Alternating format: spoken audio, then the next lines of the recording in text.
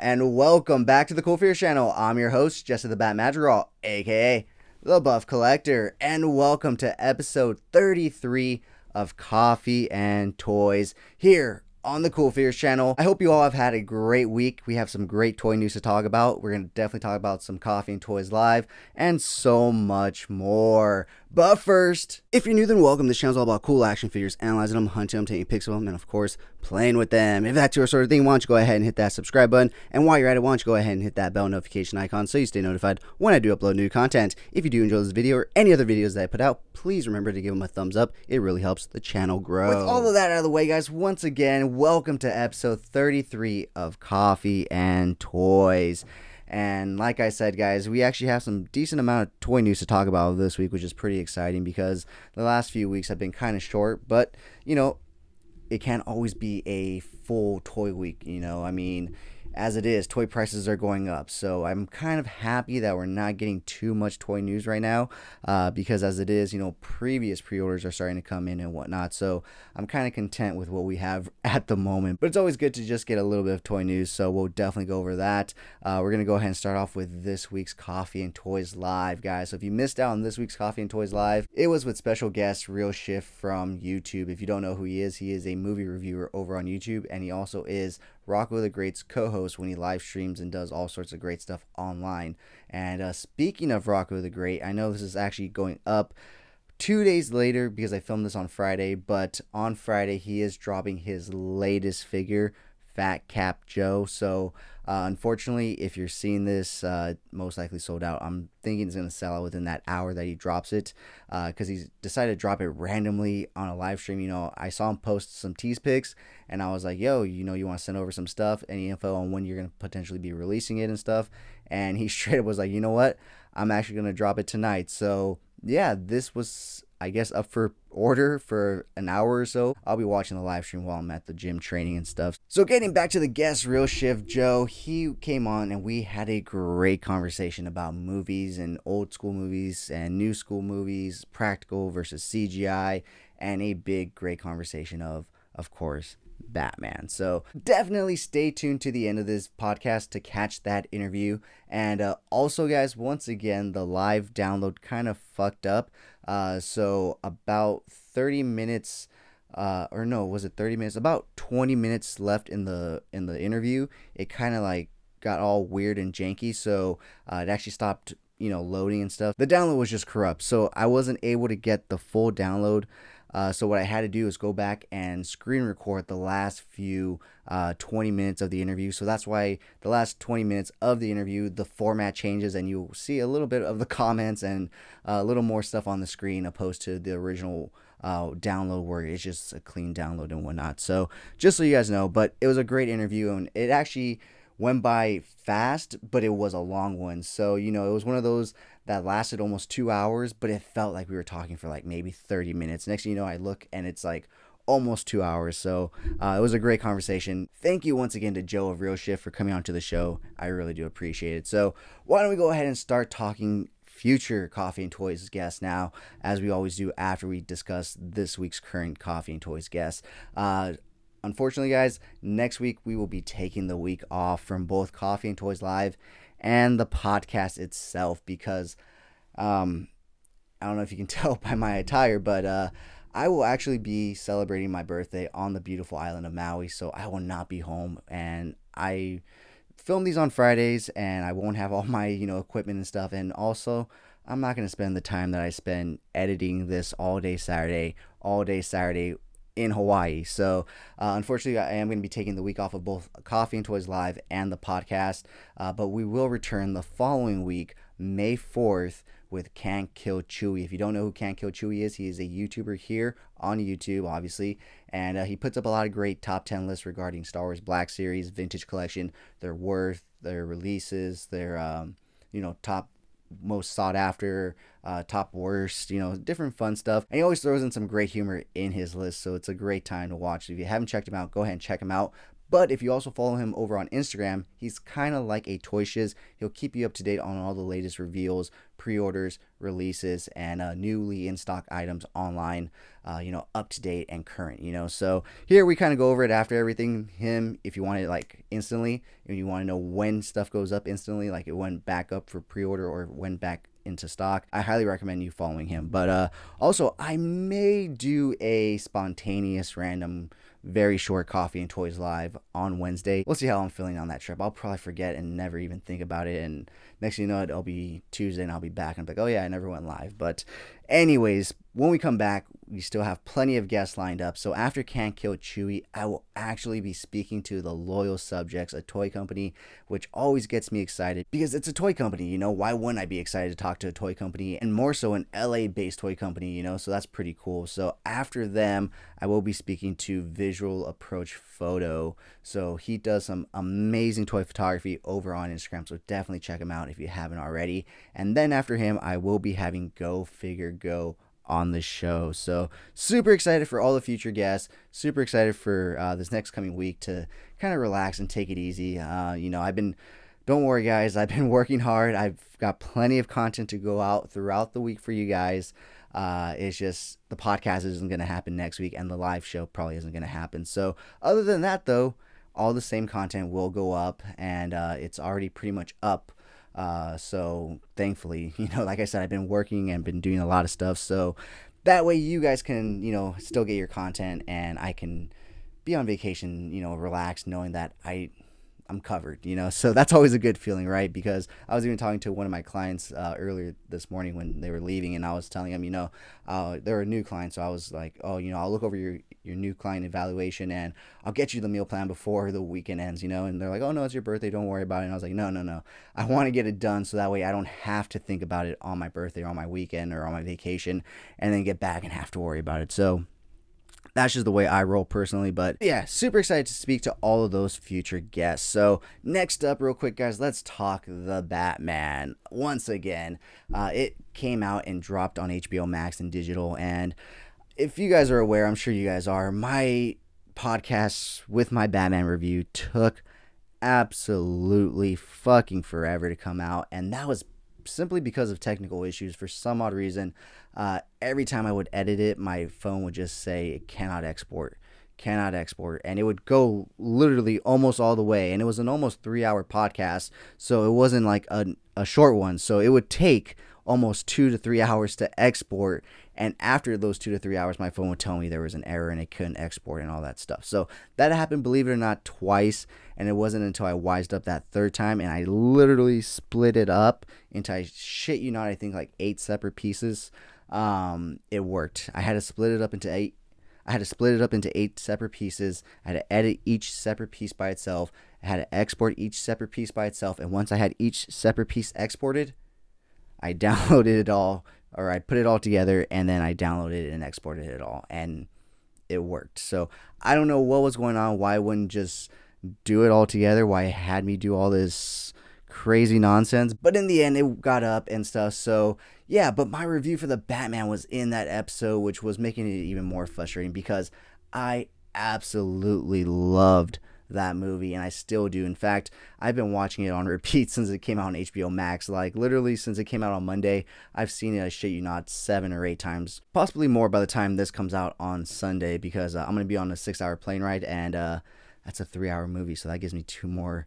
Uh, times to watch it, plus all day Saturday and Friday the rest of this day, you know? So definitely have a few more chances to watch it a few more times before this goes up on Sunday. So I'll say I'm going to land on 10. Let's see, I'm at 7 now eight, nine. No, I'm going to say 12 times by Sunday. But, uh, and that's not even including the amount of times I saw it in theaters. I believe that was five or six times. So many times I lost track. So, anyways, guys, are you enjoying the Batman? What did you guys think? You know, I mean, like I said, you guys could probably tell by the way I'm speaking on it. Uh, I absolutely loved it. Uh, honestly, it's not a perfect movie. It's not a perfect Batman movie, but there's just something about that movie that just brings you into that world. Maybe it's the runtime and the length that you're with those characters for so long. It just feels like you're a part of that world. And when it's over, you just want to jump right back in. So that's just my personal feelings on it. And it still hasn't been Dark Knight in my top five list. That still remains my top five, although this is probably number six on my list of top favorite movies of all time. So, uh, that says something because it knocked out some other great movies. But, anyways, guys, moving on from the Batman, let's go ahead and talk about some Batman. moving on to this week's toy haul, as you can see, it is definitely Batman centric and uh, greenery centric. We'll go ahead and get into this. Last week, or uh, no, no, not last week, but the previous week, because this came in on Saturday. But two weeks ago, we had this guy on the table as a new uh, statue here on the table. And I told you guys I had the Batman one on the way, and here it is. And man, is it a masterpiece. So, this is the Cryptozoic life size statue, Batman hand and Batarang. And as you can see, it is fucking fantastic. So, we're going to go ahead and put it right here next to the Joker's hand. And you know what? they just look so damn good together. I think that's going to be the podcast table right there. You know, we're probably going to push this guy out a little bit more there, put that there, and hopefully this actually looks pretty good on camera. I can't see currently, so uh, I won't know. Or maybe we'll move Batman's hand that way. I don't know. I don't want to move it too far over there right now because I don't have too good of a reach, and I'm afraid that I'll knock it off the table. And these are ceramic, uh, so you don't want to have these drop. Uh, the one thing about the Batarang is it doesn't sit in too well unless you really lock it in place. But even still, if you just tap it, it kind of just falls out. So that's my only gripe with this statue. But other than that, it is, I mean, it's literally life size. Here's my hand next to it in the same position. And as you can see, it's about the same size as my hand. So you can't get any more life size than that. So that's super cool. And cannot believe how amazing these things look. So yeah, Moving on, I recently actually just went to Target before filming this. I had a client cancel in the morning, and uh, so I had an hour to kill, and I was like, you know what? Why don't I go to Target? I had to go to Walmart to make a return anyways, and Target's that way.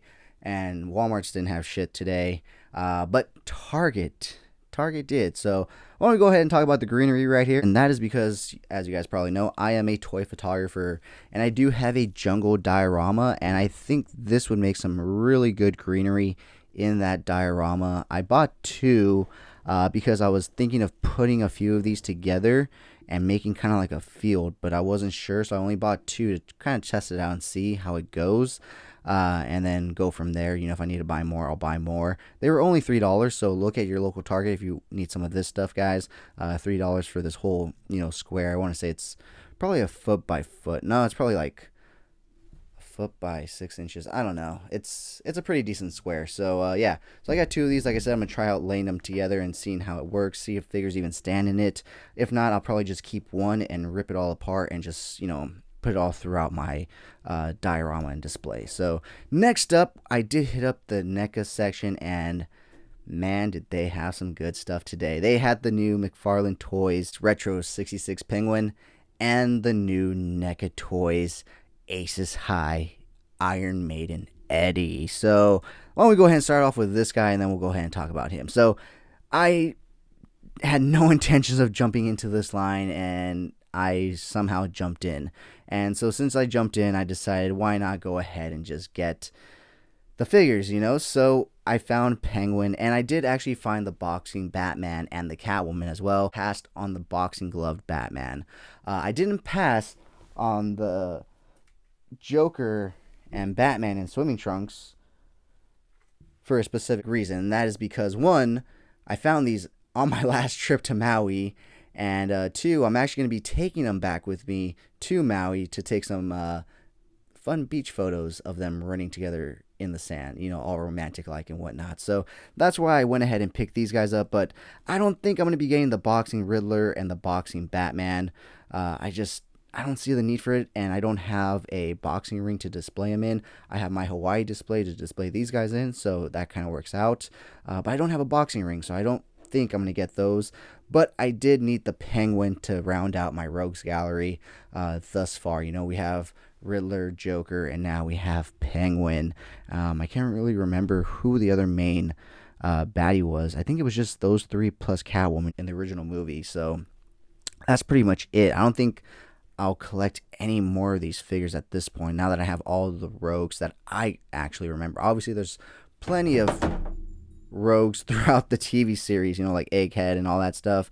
Uh, but like I said, I have no attachment to them, so I kind of have no want or need for them in any shape or form. But like I said, uh, you know, I did grow up watching the movie, and Cesar Romero's Joker is in it, and so is Frank Gorshin's uh, Riddler, and whoever played the Penguin. And so that's why I wanted them specifically. And so, yeah, with that being said, guys, why don't we go ahead and move on into uh, talking about this guy? But actually, I forgot to mention this guy will be this week's unboxing. Obviously, he's still in package and stuff. So that will be this week's unboxing. But next, let's go ahead and talk about the NECA Toys Aces High Iron Maiden Eddie because man, is he a badass figure, and NECA did an amazing job on this guy. So, if you didn't know, I am a huge rock and roll fan, and in fact, Iron Maiden is the band that kind of really got me into it. You know, growing up, I really didn't like music because all music was to me was what my parents listened to, plus what they allowed me to listen to, which wasn't really the best stuff, but it was. So I was just kind of whatever on music. I was never like, oh yeah, music, music. You know, it was you can put it on, I can put it on. It was okay. You know, it was in the background, it was noise and whatnot, but something changed when Guitar Hero 3 came out. Um, well, the fact that I got an Xbox changed.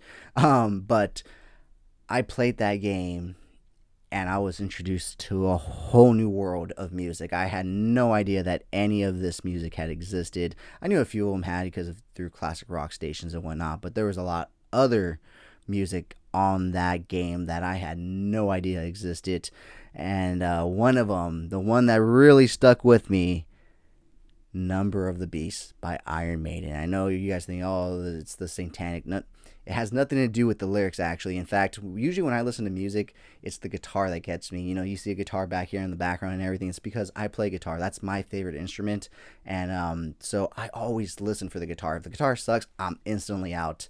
Uh, you know, so that's just me personally. So the guitar riff on Number of the Beast is just one of the most badass guitar riffs uh, and so I instantly fell in love and I wanted to know more. I wanted to, you know, follow this band, listen to this band. There's only one problem. I was a private school kid. And if you think my mom was to let her private school son that attends uh, Catholic school to listen to Number of the Beast, which is essentially a song about, you know, um, the lead singer coming across the devil one night. Uh, she yeah it wasn't gonna happen so uh, the way i was actually able to get around this is i had this little mp3 that actually had a recording function so you could actually record and i found the no cheat or the no dying cheat for Guitar Hero and I plugged that in and I turned on Number of the Beast on Expert so that way it sounded the best it could. That way, you know, usually if you went easy, like it would make the guitar a little slower, it would make it sound a little less, but on Expert it sounded exactly the way it was. And I hit record and I let it play through. And with the no dying cheat, you know, I was able to listen to the whole song and that's how I was able to listen to Iron Maiden, that one song for the longest time. Uh, unfortunately, in Guitar Hero, if you're not actively trying to play, uh, it kind of cuts the guitar parts at certain points, so I missed out on a lot. So when I finally actually got the album and I listened to the whole song, I was even more blown away, you know, by the stuff that I didn't get to hear uh, when it got cut from the game when you weren't trying to play it. So, uh, yeah, it was an experience, but in the long run, in the end, I got to listen to Iron Maiden. My mom realized I'm not going to become some satanic devil worshiper because I like Iron Maiden. Uh, and so, yeah, but now NECA Toys makes Iron Maiden Eddie figures. And if you don't know who Eddie is, he is essentially their mascot who is uh, on the cover of every album and single that they put out. He basically changes his attire to suit that album or that single. And uh, yeah, he's essentially just a zombie and uh, he's one of the most famous rock heavy metal icon mascots ever. Uh, this guy is awesome. So super cool to have this guy. NECA has actually been at this for quite some time, I think, and um, I think there's a Power Slave version of him out currently, and I definitely will be picking them up if I come across them.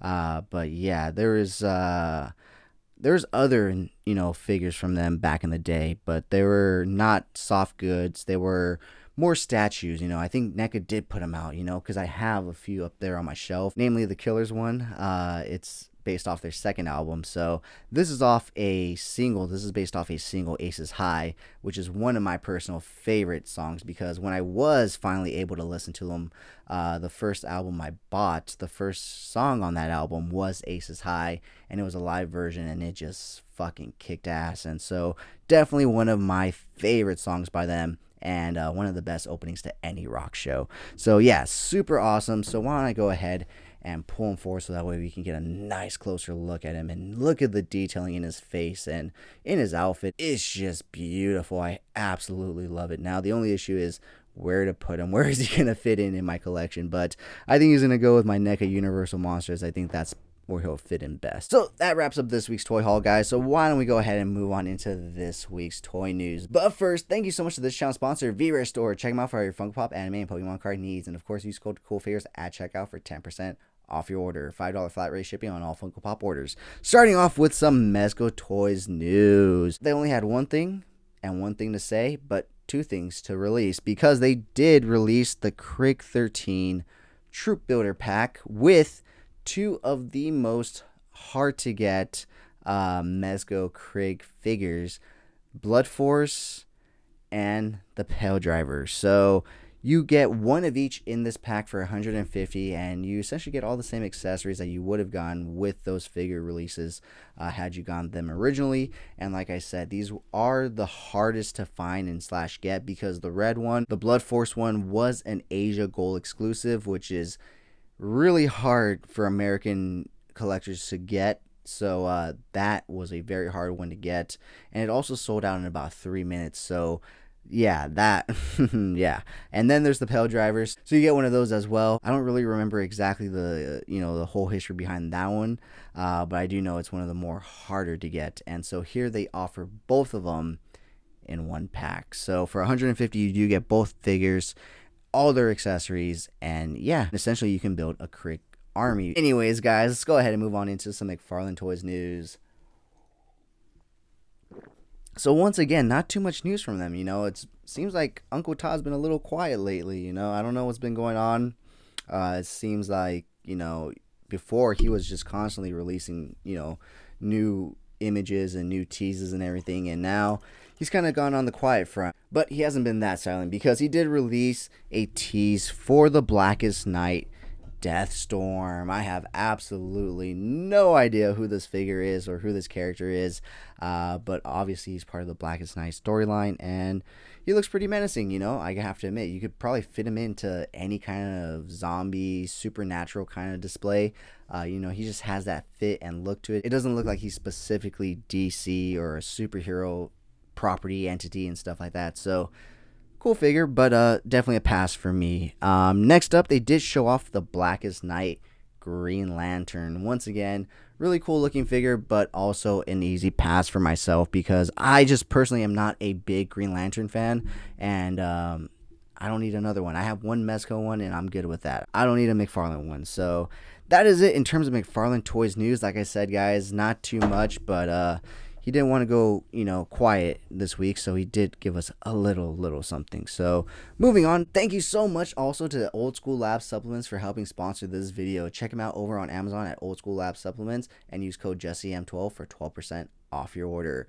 Thank you also to Legend Footwear for helping sponsor this video as well. Check them out over at legendfootwear.com and use code JesseM underscore LGND for 10% off your order. So, moving on to some NECA news. Uh, no new reveals or anything. However, uh, they did announce and put up their new NECA TMNT Casey and April Farm 2 pack on Walmart.com, as well as for international uh, collectors today on Friday. The other for you know US ones went up I think Wednesday or Thursday and it was a pass for me. I, I had the option to buy it. It was right there. And you know what? It's just not worth fucking 60 bucks for me. I'm sorry. It's just not. It's, it's just not. There's just no point in me paying $60 for two figures that I already have and for a few little accessories that are just going to look cool on a shelf. So, as much as I love that line, like I keep saying, guys, this is going to be the year of picking and choosing for us collectors because prices are going up, but value is staying the same, if not going down. So, that's one good example of prices going up and value staying the same. You know, we're not getting anything more than what we would have gotten in the $50 two pack. In fact, I've seen that they've already marked up $50 two packs from previous releases to 60 because I believe on one of the toy YouTube channels that I watch where they go hunting, they found a Hamato Yoshi and Oroku Saki two pack on clearance slash sale for fifty dollars.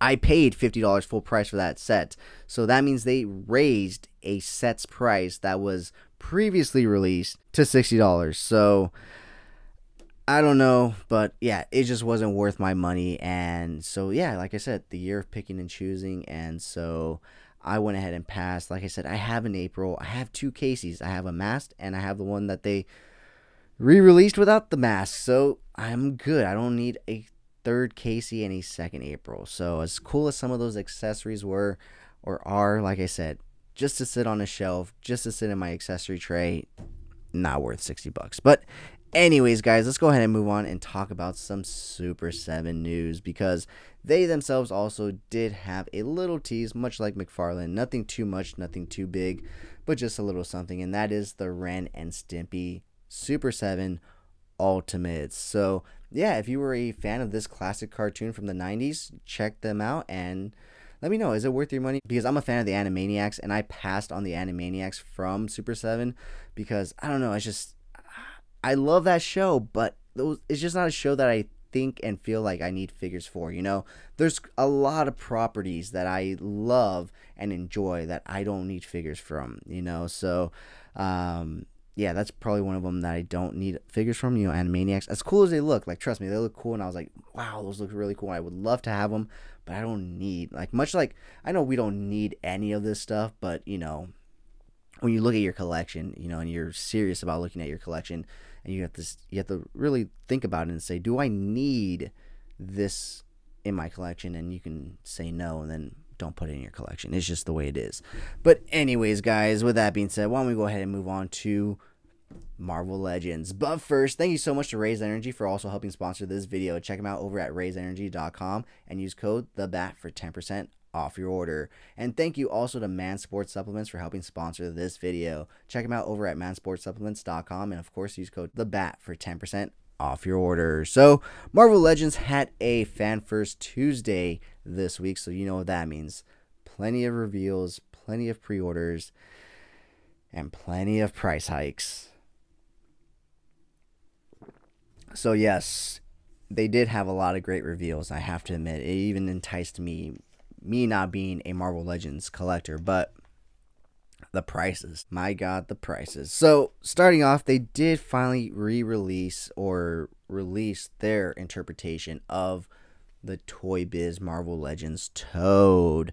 Now, when you look at it side by side compared to the original one, it really doesn't look like it. And in my opinion, it isn't living up to the hype, in my opinion. You know, I feel like people wanted a more um, copycat, I guess you could say, version of the one that we got with Toy Biz, uh, because I've heard, I haven't really heard a lot of excitement behind this one, you know. And usually when they've announced these Toy Biz, you know, remakes, you know, there's a lot of hoopla around them and whatnot. But this one, haven't really heard too much. But moving on, they did say that they are continuing on the Spider Verse uh, universe in their collection, in their wave, in their line, whatever you want to call it, with Spider Man Noir. Now, I am not a fan of uh, Into the Spider Verse. I just, I don't know. I'm not a fan of it. I just, I personally just, I'm not a big fan of it. Just, I'm just gonna leave it at that. I mean, I don't know why I have to give you guys an explanation. I'm just not a big fan of it.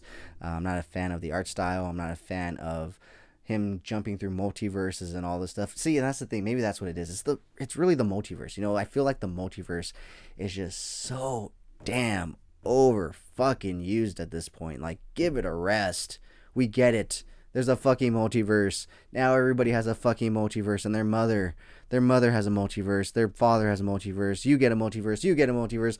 Oprah's handing out multiverses left and right at this point.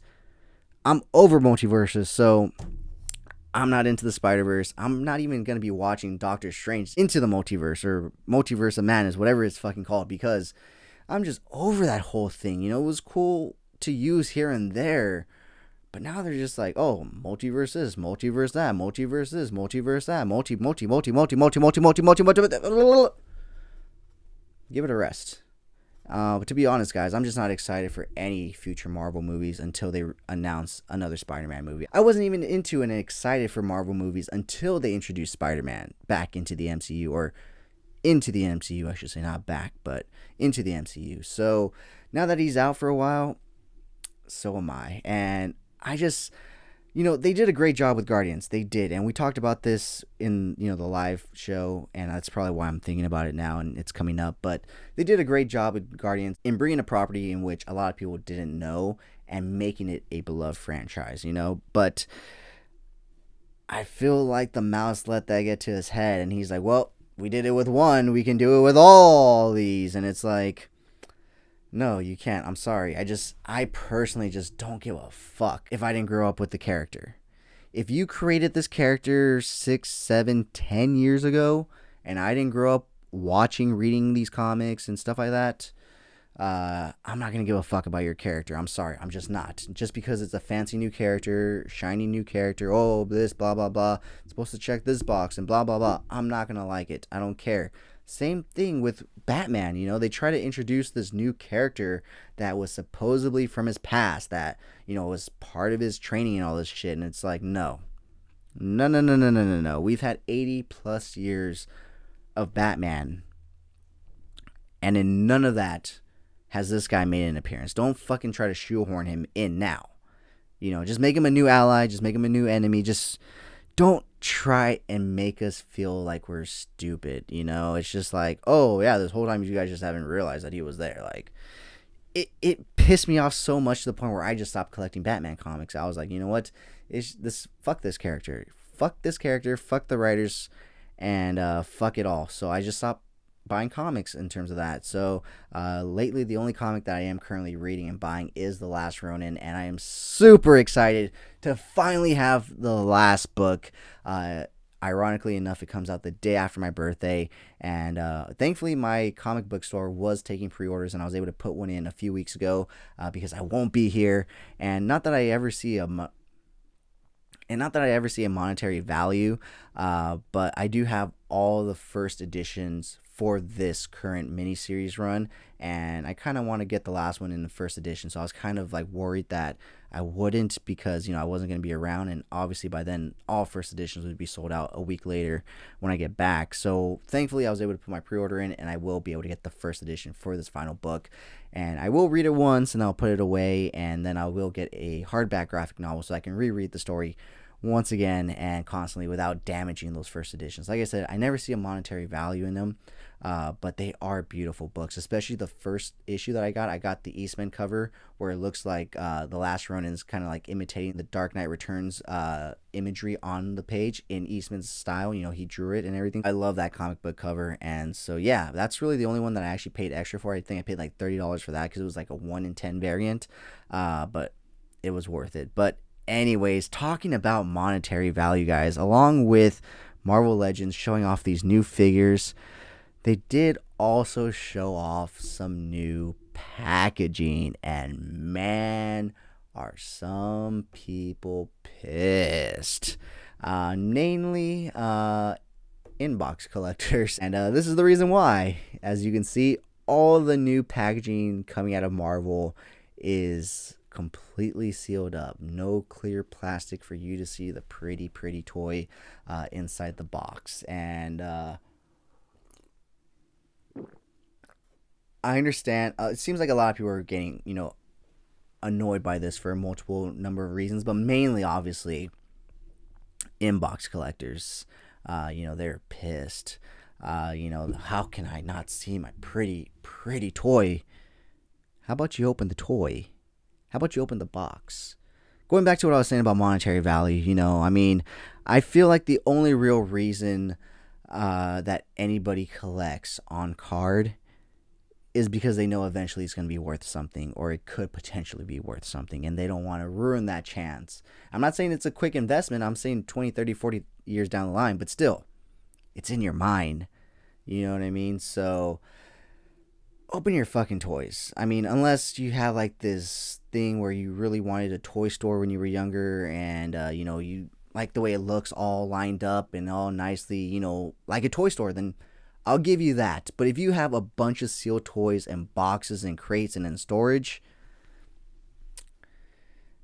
you're looking for the monetary value in them. And so open your fucking toys, guys. I'm sorry. You know what? I'm not sorry. This is my fucking podcast. I can say whatever the fuck I want. If you guys want to say something about it, start your own goddamn podcast. You know what? So, uh, yeah, open your fucking toys. Stop bitching and complaining about the packaging. I'm sorry for you closed box collectors, but open your fucking toys. But I also see the issue from the open box collectors in that maybe you finally find that figure you've been looking for. It's very rare to find, it's hard to find. Distribution is very bad with this figure. And you find one on the shelf, you grab it, you go and you pay for it, you get in the car, you open it up, and it's a figure swap. So I do understand both sides. I'm just like on the closed box collectors, just I just I don't I've never understood that. Why do you collect plastic? Like literally, that's collecting plastic. You can this is collecting toys. I mean, okay. I'm gonna get a bunch of hate comments now because I'm saying this is collecting toys and what you're doing is not. Blah blah blah. But like I said, this is my podcast. I will say what I want, uh, and if you take it to heart, fuck you. I mean, you're listening to a stranger on the internet. I don't know what else to tell you because uh, you can comment whatever you want, but I'm not going to listen to a stranger on the internet. So, uh, yeah, I just I don't I have no issue with it, you know. And if I get a figure swap, is it going to suck? Yes, but what am I going to do? Go back to Target, return it myself. So uh, yeah, that's just the way it is. But anyways, getting back to the actual toy reveals and news, they did also show off a Ned and Peter Parker two pack. Now these two figures are essentially you know them in their civilian clothes and whatnot. Well, I guess Peter in his civilian clothes and Ned just being Ned. But uh, yeah, I guess they'd make some good background characters. Uh, the face sculpt on Tom Holland is a little wonky and stuff. Ned is pretty spot on, but uh, the one for Tom Holland is a little wonky. So, anyways, moving on to the second two pack that they did announce, and they did announce a Knull and Venom with wings two pack, and uh, the price for this one is about 70 plus dollars. I don't remember exactly. I think it was 75 or 85. I don't remember exactly, but yeah, the prices are really starting to skyrocket astronomically, and so they also wanted to give you another two pack to go along with those astronomical prices, and that being a brand new Spider Man and Spinneret two pack. So, this Spider Man isn't like any other Spider Man. This isn't your mom's Spider Man, this isn't your dad's Spider Man. Heck, this isn't even your Spider Man. This is the brand new pinless Spider Man. Uh, so yeah, no more mismatched uh, colored pins on the inside and the outside. Now it's all seamless and pinless. So throw away all those old Spider-Man figures that you have because now you have your one right here. But you have to get it in that two pack with Spinneret. So yeah. Isn't that awesome? Marvel's gonna Marvel, right, guys? So, anyways, moving on. They did also announce a cartoon lizard figure. So he is the next one coming in, that retro carded wave. So look out for him. And last but not least, it was a very Spider Man centric uh, live show, obviously, because they ended off with the amazing fantasy. I think they said 80th anniversary or 70th. I don't remember exactly what year anniversary, but it's the Spider Man from the first appearance. So you get him in his first appearance costume with the webbing and everything, and looks cool. I have to admit, looks pretty cool. Once again, I personally am not a Marvel Legends collector, so I will not be picking that up. Uh, but yeah, the prices on these guys have been pretty fucking crazy. I have to admit. I mean, it's just amazing what these prices are getting to. That basically wrapped it up for the Marvel Legends uh, you know reveals and stuff for that show but uh yeah as you can see a lot of spider-man stuff on the way and they did reiterate that they are currently working on bringing us the three spider-man from the movie as well so moving on to the last bit of news thank you so much to diamond select and their marketing manager zach oat for sending over all the information and images for these next uh, statues, toys, and reveals. So, starting off with the Cobra Kai 3 inch PVC statues. Now, it seems like these things may come in a set, although I'm not 100% sure. I didn't read too much. Uh, of the information on these guys. I probably should have, but uh, I didn't, so oops. Uh, but yeah, they're coming. And next up, they are going to be bringing us a Green Hornet Kato Deluxe figure. So that will definitely be a great figure. Super excited for that one. Next up, let's go ahead and talk about the latest Diamond Select Gallery statue, and that is Captain Carter from What If. So yes, this statue is based off Captain Carter from the What If series, and as you can see, she looks pretty badass. So next up, you do also have a Jubilee 1 7th scale bust. And to go along with that, they are also releasing a Professor X 1 7th scale mini bus. And if you happen to miss out on the Marvel Select Doctor Strange and Loki from the MCU, you're in luck because Diamond Select has decided to re release them and they are up for pre order right now. But that's not all the news, guys. We do have a few more things, and the first one being a Stormtrooper A New Hope 3D and a half, whatever that means, scale bust. I don't know what the 3D means, uh, but yeah, it says 3D and a half scale bust. So, uh, yeah, looks pretty fucking cool, but uh, it's one of the pricier items. I have to admit, I think it's a Gentle Giant item, so be aware of that. But next up, we do also have a brand new Sabine Wren 1 7 scale mini bus. For the last thing that they did release, it is a Fennec Shan 1 6 scale bus from the Book of Boba. So that wraps up this week's toy news, guys. So yeah, thank you so much for joining me for another episode of Coffee and Toys. Uh, like I said, no Coffee and Toys live this coming week, no Coffee and Toys podcast this coming week, as I will be celebrating my 25th birthday on the beautiful island of Maui. Uh, so I will be relaxing and enjoying. I hope you guys have a great week. In the meantime, like I said, I still have plenty of content already up for you guys, ready to go up. Um, you know, as the days go by. So don't worry, I still have stuff for you guys there. Stay tuned for this week's Coffee and Toys Live interview coming up right after this. Uh, and yeah, guys, once again, thank you so much from the bottom of my heart for 800 plus subscribers. Uh, I really do appreciate it. You know, like I said, I'm turning 25, and at 25, I would have never thought in a million years that I'd be uh, talking about toys the way I do and doing stuff with toys the way I do, talking to toy companies and uh, great toy photographers and doing toy photography myself. You know, um, I guess toy photography in a sense has always been a passion of mine you know growing up i was never able to draw. I was always able to put my toys in some great looking action scenes and stuff and i kind of just translated that into this hobby and stuff and i always find myself really at peace even as frustrating as it gets sometimes when you're trying to balance things trying to get things just right and right when you get it just right and you're pulling your hand away you tap the other thing and it just completely turns everything to shit but uh, it's just a great feeling and a relieving feeling, a light feeling, a stress relieving feeling, I should say, when I'm playing with my toys. You know, I, I can admit it. As a 25 year old, I can admit that I'm playing with my toys and uh, it makes me happy. And I couldn't be happier because these are the things that I grew up with.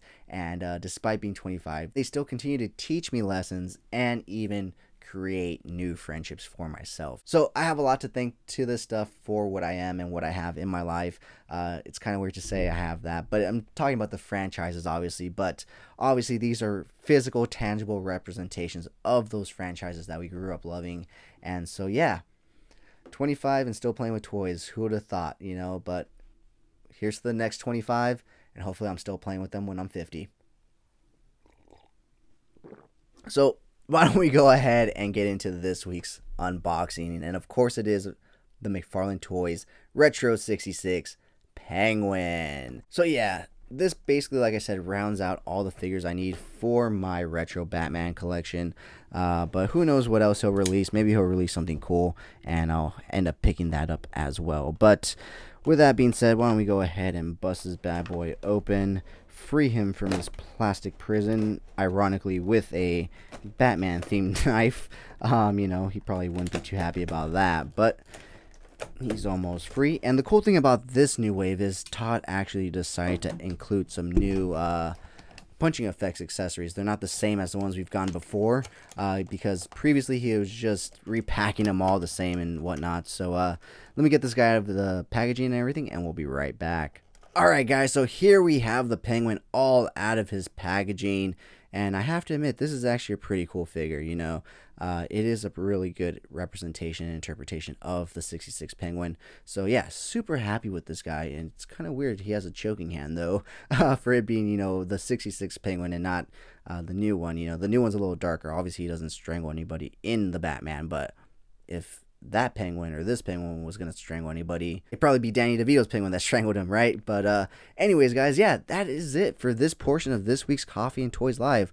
Once again, thank you, thank you so much for 800 subscribers, guys. It really means the world to me. Like I said, at 25, I would have never thought I'd be playing with toys, talking about talking about toys like this and uh, it's because of you guys that makes it possible and brings so much joy and happiness to my aging life at this point. So thank you so much, guys. I hope you guys do have an amazing week, and I cannot wait to get back to doing Coffee and Toys Live for you guys the following week and the podcast as well. And hopefully, I can find some great stuff while I'm on the island and have it here on the table in two weeks. So, with that being said, guys, mahalo. Thank you so much, and let's go ahead and get into this week's coffee and toys. Welcome back to the CoolFigurez channel. I'm your host, Jesse the Bat Madrigal, aka the Buff Collector, and welcome to episode 13 of Coffee and Toys, where I will speak to a new guest every week about toys, toy photography, and so much more.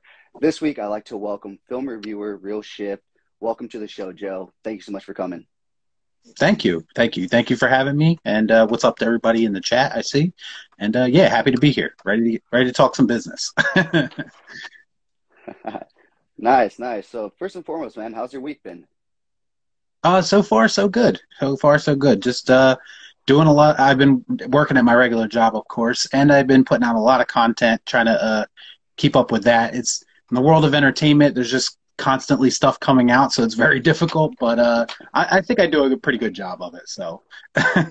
oh yeah, definitely, man, definitely. And uh, how's the yeah. new kid? Right, you just had a new kid, right?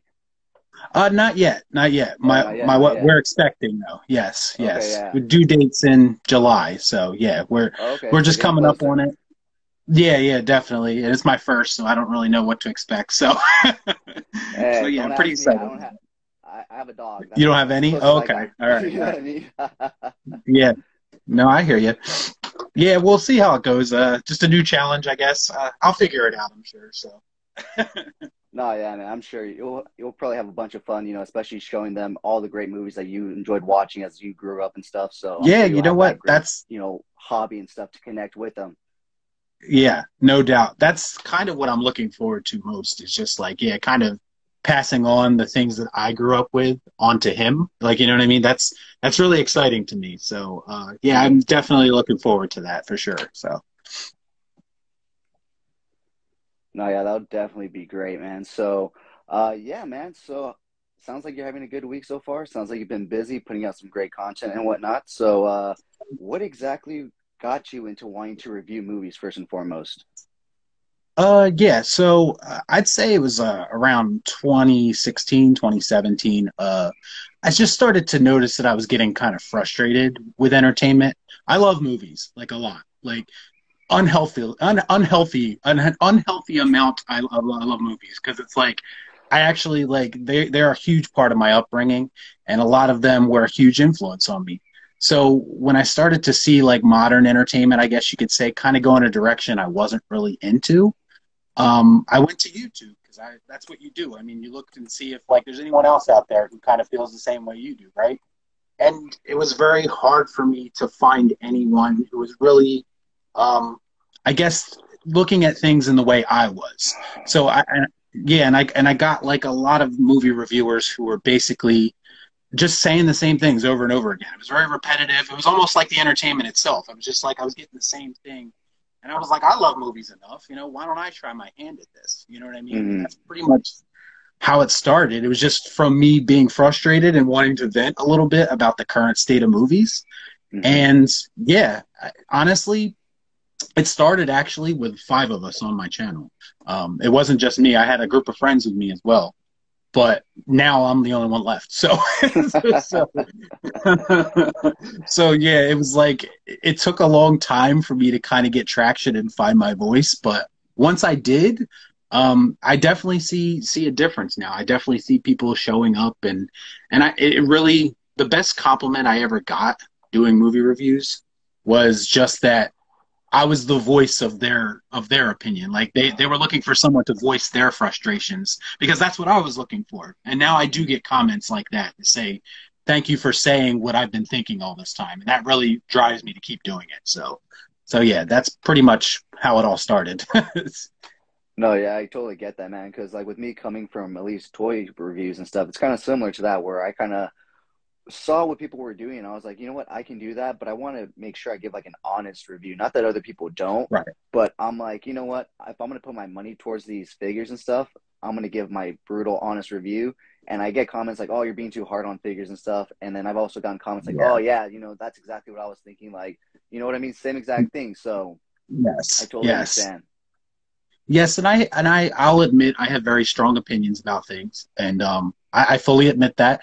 Sometimes, you know, it, it could come off as me being uh, arrogant, if in a way, but it's not really that. It's I always tell people, even when I'm being negative, it's coming from a place that really cares. Like I really care about movies. I really care about the movie making process.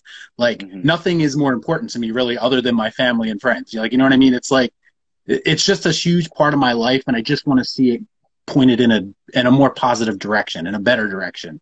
And and so i always tell people like don't take it as like i'm just constantly being negative you know what i mean? I i do mm-hmm. try to and and it, it and when i do am positive about something it's you know it's good because i'm extra critical about stuff so you know what i'm saying? Oh, yeah. so so yeah so i've always and i've pointed people in a direction of movies that like maybe you know they wouldn't have thought to watch. And then they were like oh thank you for recommending that to me. Another good perk of what i do so so yeah, there's a lot to it for sure. But no, yeah, I think it comes. It has to come from a place to care. If you're willing to sit down and actually critique something, and not just tear it apart for no reason, but to actually look at it, analyze it, and say this is what's wrong with it. This is how it could be better. Right.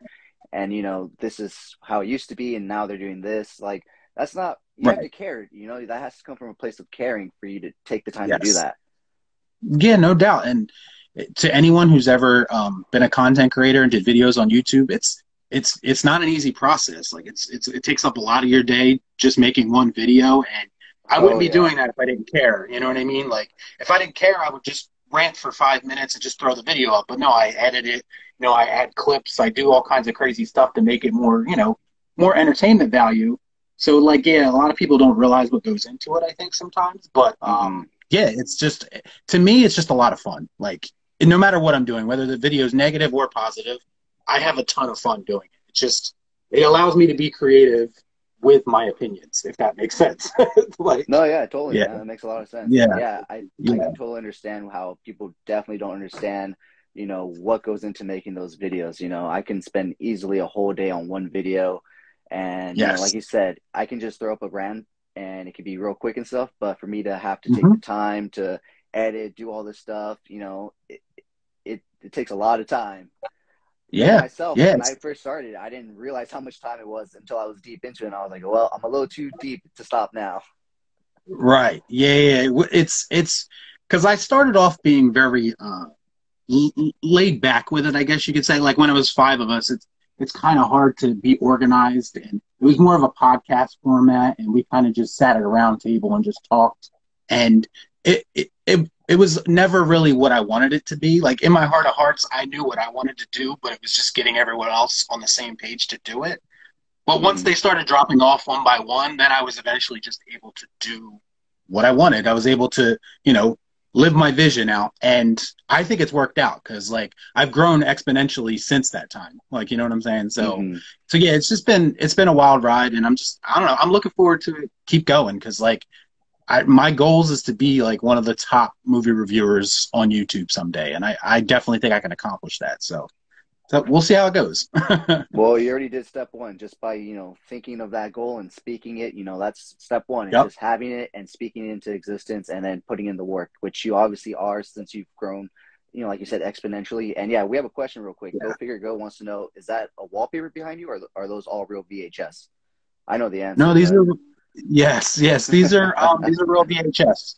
The, actually, one of the things that um, I was doing for a while was making VHS videos. That was kind of um, where i guess that was like two years ago. I started doing them, where I started collecting them again because I just love VHS. I think they're just aesthetically pleasing more so than like Blu-rays or DVDs or anything like that. um, I, and they just take me back. Like that's what I grew up on was watching Oh, VHS. yeah. So, so yeah, I started going to thrift stores and flea markets, and yeah, this is a collection right here behind me. I have many more. This is just what's in the frame, but um, yeah, my goal is to actually build one of those like VHS stores like you see on Instagram all the time. Like I would love to do that in my basement at some point. So, but yeah, these are all real. Yep, Uh, the whole collection here. I could kind of pan around so you get a better feel of it. Oh, There's a little bit more. Hanging out with you right there. Yeah, the jackhead. Yeah. People are probably wondering about that too. That's just another wrinkle in my channel, basically. Uh, uh, basically, it, I don't even know how it started. Um, someone gave me that head, and then turned out it ended up on my channel, and I started giving him a voice and everything. It was just it turned into a thing somehow. That's just how it goes sometimes. So oh yeah, definitely, man. So I see you have uh, The Shining and the S- and uh, Scream up there. Are those two of your favorite horror movies? No doubt, no doubt. The Shining is one of my favorite movies. Period. Um, but uh, as far as horror movie goes, those three right there, Scream, Halloween, and The Shining, are probably my top three. I would say horror movies for sure. Uh, the, at least the ones I watch the most, no doubt, no doubt. Yeah, um, The Shining is just an incredible movie to me. Like every time I watch it, I get something new out of it. It's it's it's it's amazing the way that they put that movie together. Like to this day, I still see new theories about that movie that I'd never heard before. Like you know what I'm saying? It's like oh yeah, it's it's one of those things if you go down a rabbit hole on youtube there are a ton of shining videos just theories from different people different ways of looking at it you know uh, behind the scenes stuff about how he created it and everything it was just it's one of those movies too that i didn't grow up on i, I watched it later in life and um, it just connected with me immediately as soon as i saw it i was in like that's it so so yeah the shining is great that's definitely one of my favorites for sure yeah. You would hope for you know everything that the director put him through to film that movie. You would hope it was a great movie, right? yes, yes. Uh, Kubrick did some very unethical things in that movie, for sure. By today's standards, bit, for sure. just a little By bit. then standards, really. So yeah, it was. Yeah, it's he, he was a little rough on his actors, but um, yeah, he definitely made a masterpiece out of it. So yeah, Oh, definitely. Uh, have you seen the new Scream movie? I have I have seen the new Scream movie. Um, that your thoughts on and that that brings me to that brings me to the one of the things that I was uh, highly critical of actually. Um, and it's it's because I'm such a big Scream fan and I've loved all the other movies, even the third one, which is you know arguably the worst one in, in most people's eyes. But um, but they all had a certain Yeah. charm to them, and I felt like the newest one was missing that charm a little bit. Um, mostly because of Wes Craven's, I guess, absence. I think that's what I chalk it up to most. It just didn't have his flair to it. Um, and he was involved in all of them except that. one. Like, you know what I mean? So it was like, Yeah. I definitely felt his presence not in the movie. And I felt like it was a bit underwhelming as far as like what we come to know from Scream, because Scream's all about the twist ending, right? Um, Mhm. And I was just highly underwhelmed by the ending of this Scream. Like it just, on every level, it just kind of failed for me. Um, yeah, I, I, it, it, I wasn't a big fan of it, obviously. So yeah, Really? Okay. yeah, See, and I have the Yeah. complete opposite feeling on that one. Like honestly, for, but okay, it's I feel like for what it was, like you know, a reboot slash sequel, it did Right. a good job. Because when you look at a lot of these reboot slash sequels, they fall hard on their ass. Or at least this one, do. I didn't cringe the whole time. I actually found Right. myself. I at least enjoyed the whole movie and found myself entertained. At least I'm not saying it was the Okay. greatest scream or it was the best story or, or you know what I mean, but I did enjoy the Yeah. kills for what it was. And for that one major kill that was in there, I don't want to spoil anything if anybody hasn't seen it. That one did Yeah. surprise me and shock me, and I was like, you know what? I have to give him respect for at least pulling that off. And Yeah. I was like, okay, you know what I mean. But It was it was it was definitely a ballsy move. Yes, yes, yes, for sure. enjoyable.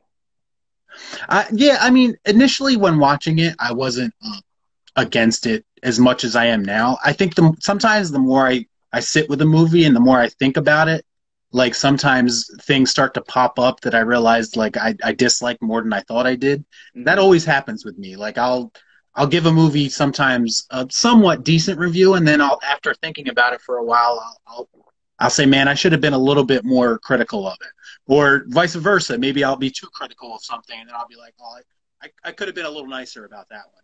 But that's part of the job, really. I mean, your your opinions on movies change over time. Like that's kind of the whole thing with them. So, um, so yeah, like I didn't dislike it as much as I thought I did the first time. But then, like the more I thought about it, it just kind of fell out of favor with me. I don't know. I, I'm gonna watch it again, and maybe I'll have a different perspective this time. We'll see how it goes. But because I don't want to hate it, I love Scream, so it's like you know what I mean. So, No, yeah, exactly. That's why, like, for me, at least it was an enjoyable and entertainable or entertaining movie, Right. movie and stuff. And like I said, I wasn't just cringing at every line, everything that was happening. I was able to sit there and actually enjoy it. You know what I mean? It wasn't like, Yeah, wow, yeah. they said that, wow, they did that. Like, it was just like, okay, it was an entertaining movie for what was it, an hour and a half, two hours, or whatever it was. I wasn't like, Right. damn, that's two hours of my life I'll never get back. That was just like, okay, two hours well spent. Wasn't something that I'm gonna go boast about. It's not something I'm gonna be like, Right. oh, it's my number one Scream movie or stuff. But uh, you know, like I said, Yeah. it wasn't a waste of my time. At least like a lot of movies nowadays are. yeah, it's it, unfortunately, and I know this is one of the topics you want Hey, to cover, but in some, oh, what's up, Rocco? I know he's on vacation right now, so thanks for popping in even on your vacation. Appreciate that. But um, yeah, so I, it, what that's one of the things that I think it, it's just that when when Hollywood goes to the well one too many times, it it's starting to rub me the wrong way because it's like, yes, you could keep making Scream movies, yes, you could keep making Halloween movies, you could keep making superhero movies, but I'm in a place right now where I'm just like looking for something original. Like that's that's just where my mind's at right now. You know what I mean? And it's like Yeah. yes, I could I could watch sequels all day long and, I, and they'll be fine, but like I forget them the next day. It's not like it sticks with me. Like I want a new experience that sticks with me and it and it makes me because that's how I decide whether I like a movie or not. Does do I keep thinking about it after I watched it? You know what I mean? Like Oh yeah. or does it leave as soon as I leave the theater? You know what I'm saying? Like it's Yeah. like that's that's really how I judge it and the the movies that stick with me are few and far between these days. It's like it, I do there are some there are some but it's it's not for the most part they're forgettable. And I think that's the problem. There's just a lack of creativity, a lack of originality. And I think that's my biggest problem right now with it. It's just that yeah, it's just it doesn't appeal to me. Like I come from the 80s and 90s where almost every movie was like an original idea. Like, you know what I mean? Like, you had your Ghostbusters, you had your, you know, your Beverly Hills Cops, your, these random movies that turned into like franchises. You know what I mean? We don't get that Mhm. anymore. I don't even remember the last movie, original movie, that turned into a franchise. The only one I can think of is The Matrix in 1999. Well, what about And- John Wick? Oh, there, there is John Wick. Yeah, that's true. Okay, I wasn't That's thinking one, about him. but that's yeah, one. that's one. Yes. but I can't think of another one. Like it's No. like everything is a sequel to something that came out in the 80s or 90s. Like you know what I mean? So it's like Mhm. that's where my problem comes in. I think with with modern movies. Yeah. no, I definitely agree with that. You know, Hollywood cannot come up with anything original and creative Right. because I feel like they need to have some kind of tie nostalgia wise to a franchise. One to put it Yeah. out, and they know they can't be too risky on anything original nowadays.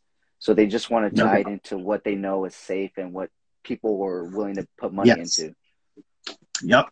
And and I I've done research on this because like obviously I make a lot of videos about it. So and um there's insider people who have talked about this like why we don't get original movies anymore. And for the most part it comes down to two very huge things. It's it's box office and it's or excuse me, it's it's it's box yeah, it's box office and it's physical media. Um in the past when you would make an original movie, even if it didn't perform well in the theater, you could make up for it with physical media sales. And a lot of Mhm. movies would get legs because of physical media. Well, physical media is dying out. Like nobody really gets it anymore. So those movies that would normally get recognized on physical media aren't going to get recognized anymore. Only the big Mhm. movies do in the theaters. Yeah. And the other problem is that only people people only support those big movies when they're in the theater. Like so they're only going to see superhero movies. So then production companies only think that's what that's all people want to see. Like so that's how it's a combination of those two things why we don't get original movies as much anymore. So yeah, it's it's unfortunate, but I mean that's why I have my channel. I, I my whole goal is to kind of just make people think about this a little bit differently and maybe get people to start buying physical media again because they make it. It's just it doesn't sell like it used to. Like you know what I mean? And because it, it helps, it really helps. Like if you like a movie, I highly recommend that you buy physical media for a couple of reasons. One, it sends a message to the studio, and two, you know it's not ever going to be edited. like you'll have yep. it. It's, it's you know what I mean? Because they're in the habit of editing old movies now. That's a thing now too. So it's like, oh, yeah. yeah. So so there's definitely yeah layers to it for sure. But um, but yeah, that's that's pretty much my thoughts on that. Yeah. So.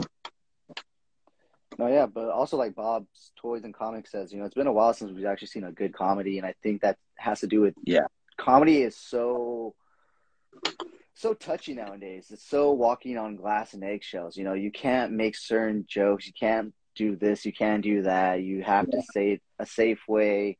And I feel like comedy can't be safe. That's the whole reason it's funny. Yes. Like, yeah. It's, you know what I mean? Rest- yes. You can't have restrictions with comedy. Comedy needs to be open for the comedic person to talk about whatever they want to talk about. The the biggest thing with comedy and why comedy connected with people, you know, in the past was that it was like it's funny because it's true type situations. Like you know what I mean? Like they would take real life situations and, you know, sometimes ugly situations and make you laugh about it. Like mm-hmm. but you can't do that anymore. It's like if you do that then someone's gonna get offended and you might lose your career over it. Like it's like and that's no way to to live really. That's no way to you're you're stifling their creativity and that's a real problem for me and that's another re- reason that i don't like this whole like kind of pc culture it's like it really gets in the way of creativity. It, it limits people and what they're capable of doing in movies and stand up whatever the case may be in television. So yeah that's definitely a real problem for sure. Yeah. No yeah definitely. So hopefully i mean hopefully things change. I mean I think we're seeing the repercussions of everything recently, especially with what happened at the Oscars. Like people are seeing like, you know what I mean? Like, yeah. come on, it's a it's a joke, and so I think people are gonna hopefully change their views on it, and hopefully things will change yeah. slowly. Uh, you know, I think you know movie companies are starting to see that they want to start making money and not losing money because I, the last few movies that have made money have been what Spider Man and Batman. Right. Like the last That's the problem. Yes. What, what were the other ones that were big besides those? None, right? I mean, no, it's opening. Yeah, for a horror like a horror movie is is is considered a success much easier because they don't they don't cost anything to make. So it's like exactly. yeah. So you can you can do a decent amount with a horror movie and it's considered a success. Whereas with a superhero movie, like they they all make big bucks. And yes, I think Spider Man was the number one movie last year and I think so far this year it's it's Batman if I'm not mistaken. Um, and yeah, like, and that's part of the problem. It's just like if you only go out there and, and watch superhero movies, then that's all we're gonna get. Like in, in Hollywood's mind, superheroes are the easiest thing for them to make right now because they know people are gonna show up no matter what, whether it's good or bad. Like you know, I mean? people just yeah. show up just based on the fact that it says Marvel or DC over top of it. Like that's it. Like and that's a problem because, again, you have filmmakers who are out there really trying to bring original ideas back, but they can't they can't even get into theaters because these superhero movies like dominate the, like they take up so many screens that smaller movies can't even get into the theaters. Like, you know what I mean? And that's kind of what Martin Scorsese was talking about and why he got all the flack that he got but he was right. Like it's like it's harder for for smaller movies to get in the theater because of these movies. You know what I mean? So it's like it's just yeah, it's it's not good for anyone really. It's not good for variety. Like that's and that's more really what we need in entertainment is variety. You can't just have one genre dominating constantly. So yeah, but it is what it is. Yeah. No, yeah, definitely. Do you think that we're starting to get like you know superhero movie fatigue, especially like Marvel fatigue? considering how many movies we get and TV shows? I mean, I know I am, but uh, yeah, I, I kind of see it, it, the tides changing a little bit just in general. Um, I think at some point, like everything, like goes in waves. Like you know what I mean? Like you know, there was a time when westerns were popular in Hollywood. There was a time when, you know, action movies were the Mhm. big thing in Hollywood, and you know, superhero movies are having their time now. And I really do hope that like it, it kind of scales back a little bit because I prefer the superhero movies that you know the original ones when they weren't out all the time, like your Batman '89s or your even the original Spider-Man, the Sam Raimi Spider-Man, like Mhm. back when the movies were an event they felt special. You know what i mean? Like now they don't feel special anymore because they come out every two months. Like so it's Mhm. like it's hard for me to get excited about them because it's like oh here comes another one. Like you know what i mean? It's like and i love superheroes. Like i grew up on them but i'm just like so burnt out on them that i can't even get excited about it. like and that sucks. Like i don't want to feel that way but that's it's just it, how it, it's how it goes like you know i get bored with stuff especially when it's constantly being forced down my throat. You know what I mean? It's like, yeah. But it is what it is. Like, I, I yeah, I assume that at some point it'll fall off, and then we'll get obsessed with something else. But I don't know when that's going to happen. It doesn't seem like it's slowing down a lot, maybe a little bit, but it's still, you know, Spider-Man made huge numbers. So Oh yeah. yeah, yeah. So I don't know. We'll see what happens. No, yeah, definitely. But I think, uh, you know, I think Marvel kind of like messed up a bit by kind of continuing on so quickly after Endgame. Like, I feel like there was Yeah. such a buildup and everything that that should have like been it for a while. Kind of like you said, make it an event. You know, like that was the big event, and then the next one to come Mhm. back would have been a bigger event because it's like, okay, we've taken some time off, and now here Right. we are again. Yeah, it's I you know I'm I'm a little bit rough on Marvel sometimes because they are they're kind of the reason why this is happening. Um, it's not necessarily their fault; they just did what they did, and people liked it, and then but people got obsessed with the idea of doing everything the way they do, and that's kind of where why we are the way we are. But and I've been hard on them, but I will say this: they they at least had a plan. Um, they built to it over what what was it a 10, 12 year period, whatever it was, and you know, and they executed their plan. I, I got to give them credit for that, and people loved it for the most part. But yeah, I agree. Endgame should have been like almost a not not not done forever, but maybe take a break after that, and then see where you're at and do a reboot if you have to or whatever down the line. But yeah, to continue right after that, it, it kind of just cheapened the finale. You know what I'm saying? Like that was you know mm-hmm. a big moment for comic book movies. You know, you had two of your biggest heroes and, in, in Iron Man and Captain America kind of having their swan song. You know what I mean? They should have let it, you know, play out a little bit more and then seen where they stood after, you know, two or three years or something like that. But no, they went right back into it. So it's like, yeah. Again, it's it, it's impossible to get invested in it for, from my perspective because of that. Like, yeah. So No, yeah, definitely. Yeah, But I think the other thing that had to do with it was also what you said. You know, the Cap and Iron Man, they had their swan song. You know, like the main heroes that people grew up with that have been around, you know, 40, 50, 60, 80, almost 100 years. They're finally done with their storylines. And it's cool Right. that they're trying to introduce new characters that, you know, to bring in and everything. But I feel like they want us to love those new characters just as much as we love the characters that we grew up knowing all throughout this oh. time. And it's like I Yeah. don't feel the same way about these new characters as I do about No. you know these ones that I grew up with. No matter how Right. cool you make them look, how much money you put into these movies, how much writing you do, it's just these aren't the characters I grew up with. And just because you Right. label them superheroes and under the Marvel banner, I'm not going Right. to automatically love them. Exactly, exactly, and and I'm I'm a firm believer that not every comic book character needs a movie. Like it's like not all of them are worthy of a movie. You know what I'm saying? Like that's not to say they can't be side characters or cameos or whatever, but like, do I think that I don't even really think that like a character like Ant Man needs a movie. Like to me, he could have just shown up in a in a in, a, in an Avengers movie, and we would have never thought the difference. You know what I mean? We would have never noticed the difference. Like, like there's just mm-hmm. certain there's certain heroes, yes, that deserve the movie. You know, Batman, Superman, Iron Man, Captain America, Spider Man. You know, your household mm-hmm. names. But to to to think that every single comic book that was ever made is going to have the same impact that say Guardians of the Galaxy did is just kind of naive. Like Guardians of the Galaxy was like a once in a lifetime thing. It was kind of obscure and then they turned it into a phenomenon, right? But now they think they could do that with everything and it just it doesn't really work that way. Like you know what I'm saying? Like Yeah. and that's kind of the problem. So I don't know. Yeah. I just I, I would really love for them all to take a break and just like let it breathe for a minute, like you know what I mean. But it is what it is. Yeah. Well, I mean, do you think Warner Brothers and the DCU is going to take a break now? Because uh, they're kind of they're kind of stewing in some hot stuff right now between Aquaman two, the Flash movie, the DCU in general. They, yeah, you know, I mean, they're not doing so well in these last few weeks. Well, I mean, yeah, I mean, I'm a DC guy. I, I fully oh, admit that. I mean, you can, yeah. you can see it all right here. Right. Yeah. And um, you know, I would love for them to have gotten their stuff together sooner, um, but they didn't.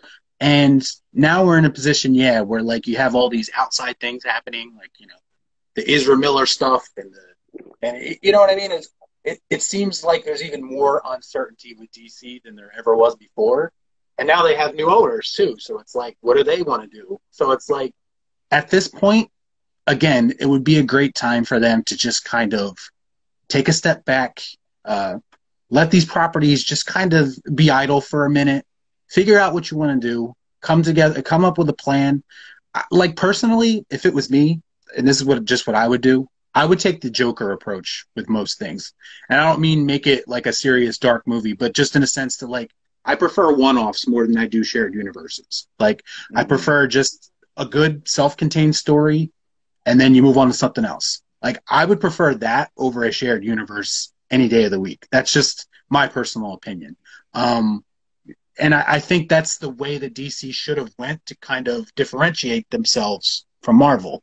Like go that route and do more, you know, um, emotional stories like Joker. You know what I mean? They kind of did that with the Batman, sort of, kind of, which is why I'm a little bit more forgiving of that movie because at least it was it was different than all the other. Movies. Like it felt different to me. So um, that's really what I'm looking for. Is just yeah, give me some variety. Like you know what I mean. Don't make everything look the same, sound the same. You know what I mean? It's just no, yeah, yeah. I, I don't I don't know if we'll ever get there, but it, this would be a great time for DC to just kind of take a break and just reassess things, and then you know just just just I don't know just come up with a plan. Like they never really had a plan. I mean, Zack Snyder kind of had a plan when he was in, but not really. Since he left, not really, but kind of. And then, but since he's gone, it's like, yeah, it's like there is no stability whatsoever. At least there was some form of stability with him.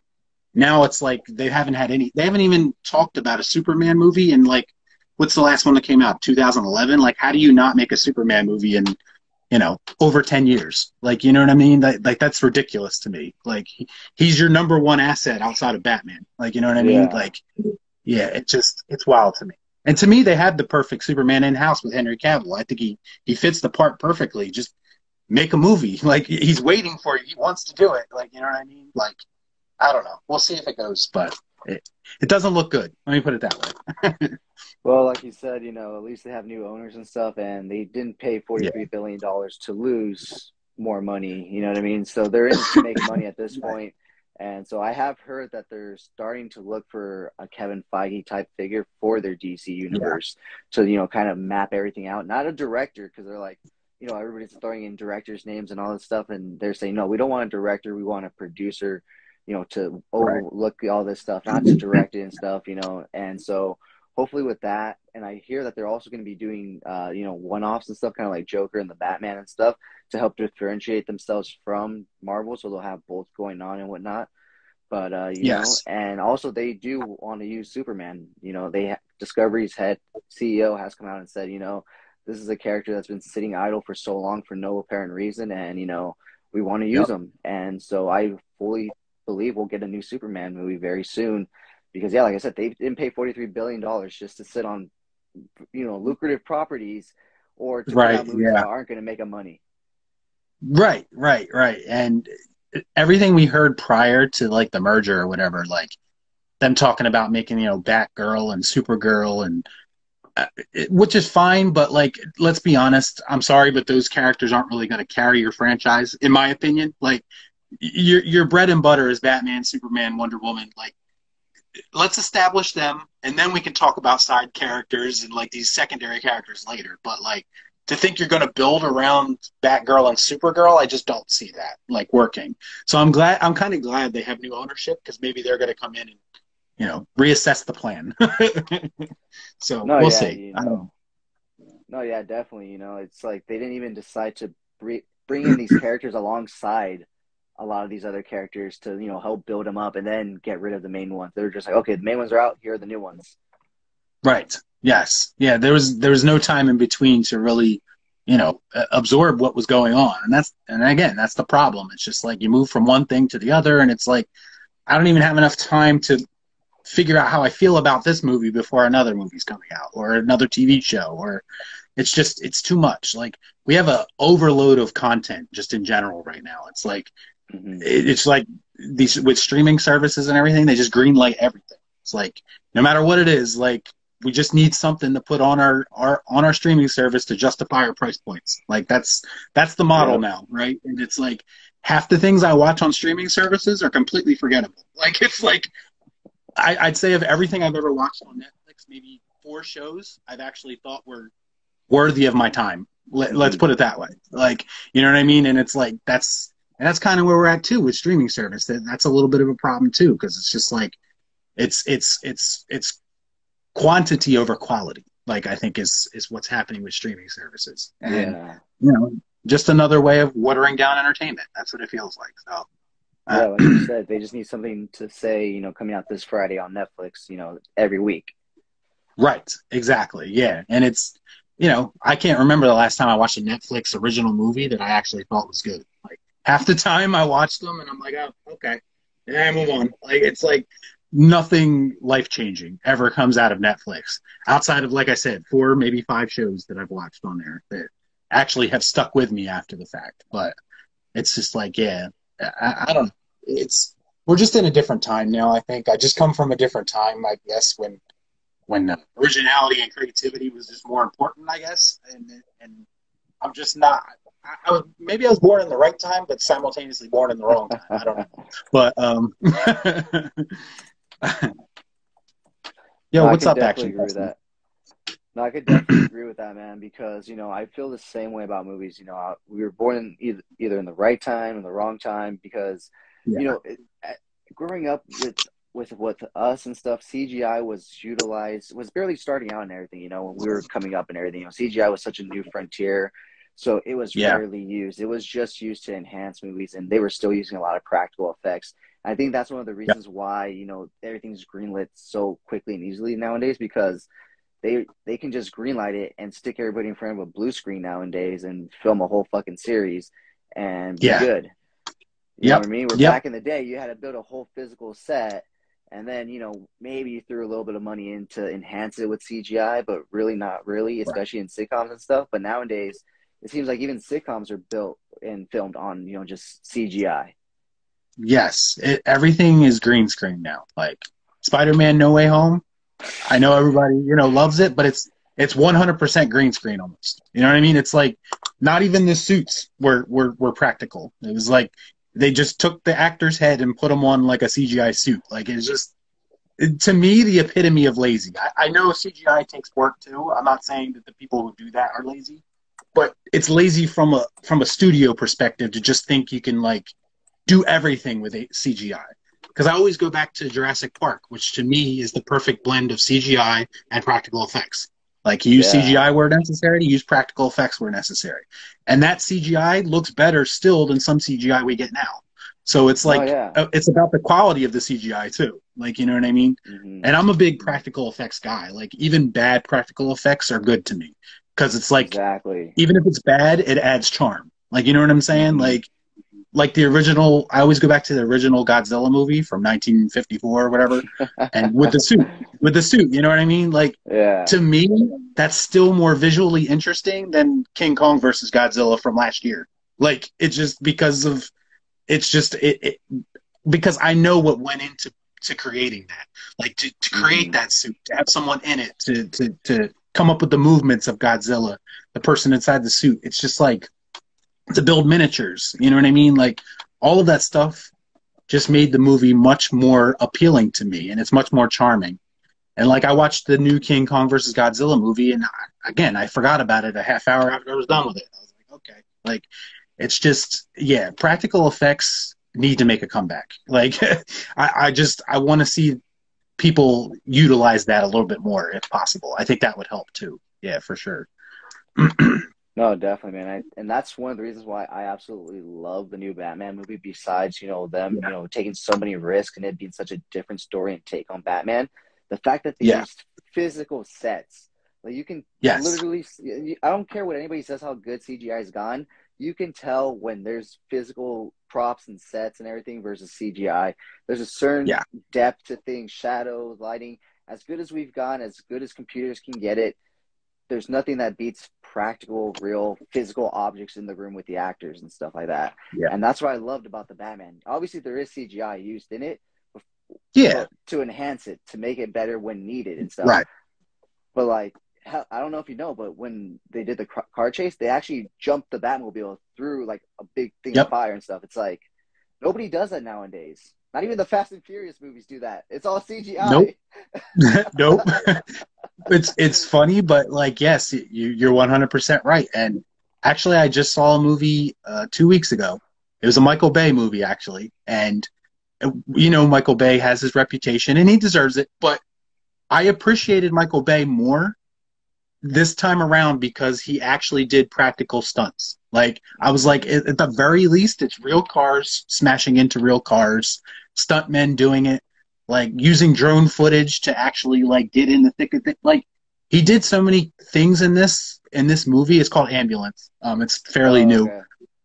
but he did so many things in this movie that were like old school mentality Hollywood, and it was like it's amazing to me that I have to rely on Michael Bay to get that, but it's like that's that's where we are right now. Like you know what I mean? Like it's just like the guy who made Transformers is like taking Hollywood back to basics. It's crazy to think about, but it's like it, it totally works for me. And yes, Batman was another good example. Like actually having the Batmobile driving around in the streets and doing jumps and all of that just helps me connect with the movie more. Like every time. Like Exactly.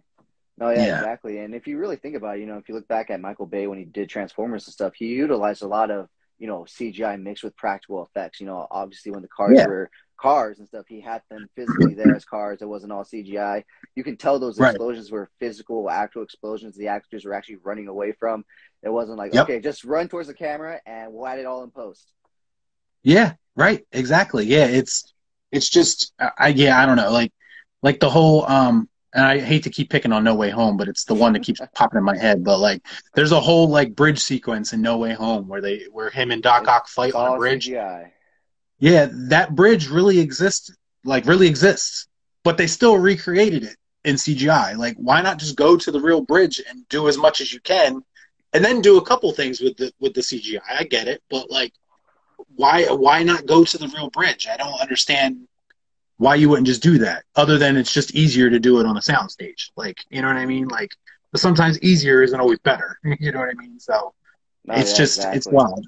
Yeah. Oh yeah exactly. That's why you have to appreciate movies like you know mission impossible 3 and true lies that actually go to like those physical places like on the bridge in florida and film right. and do all that stuff. It's like you have to appreciate that because nowadays they just don't do that. They don't they don't they won't even go and film outside anymore.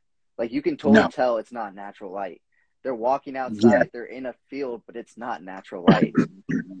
yeah, it's it, yeah. And Mission Impossible. That's another good example of like yeah, a movie that actually utilizes real stunts. I mean, Tom Cruise is actually hanging on the side of a plane. Like that's legit to me. That makes me respect the movie a lot more.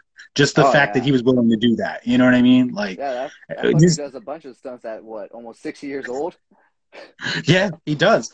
And I, I, I'm a fan. I'm not ashamed to say I love Tom Cruise. I, am a fan. Same. Of. Like, Same. The dude's a real that. movie star to me. Yeah. Yeah. Yeah. respect that. You know, like even in the new Top Gun, like he's flying a real ass jet. Like he's like, yeah, yep. we couldn't imitate those G forces, so we all learned to fly jets.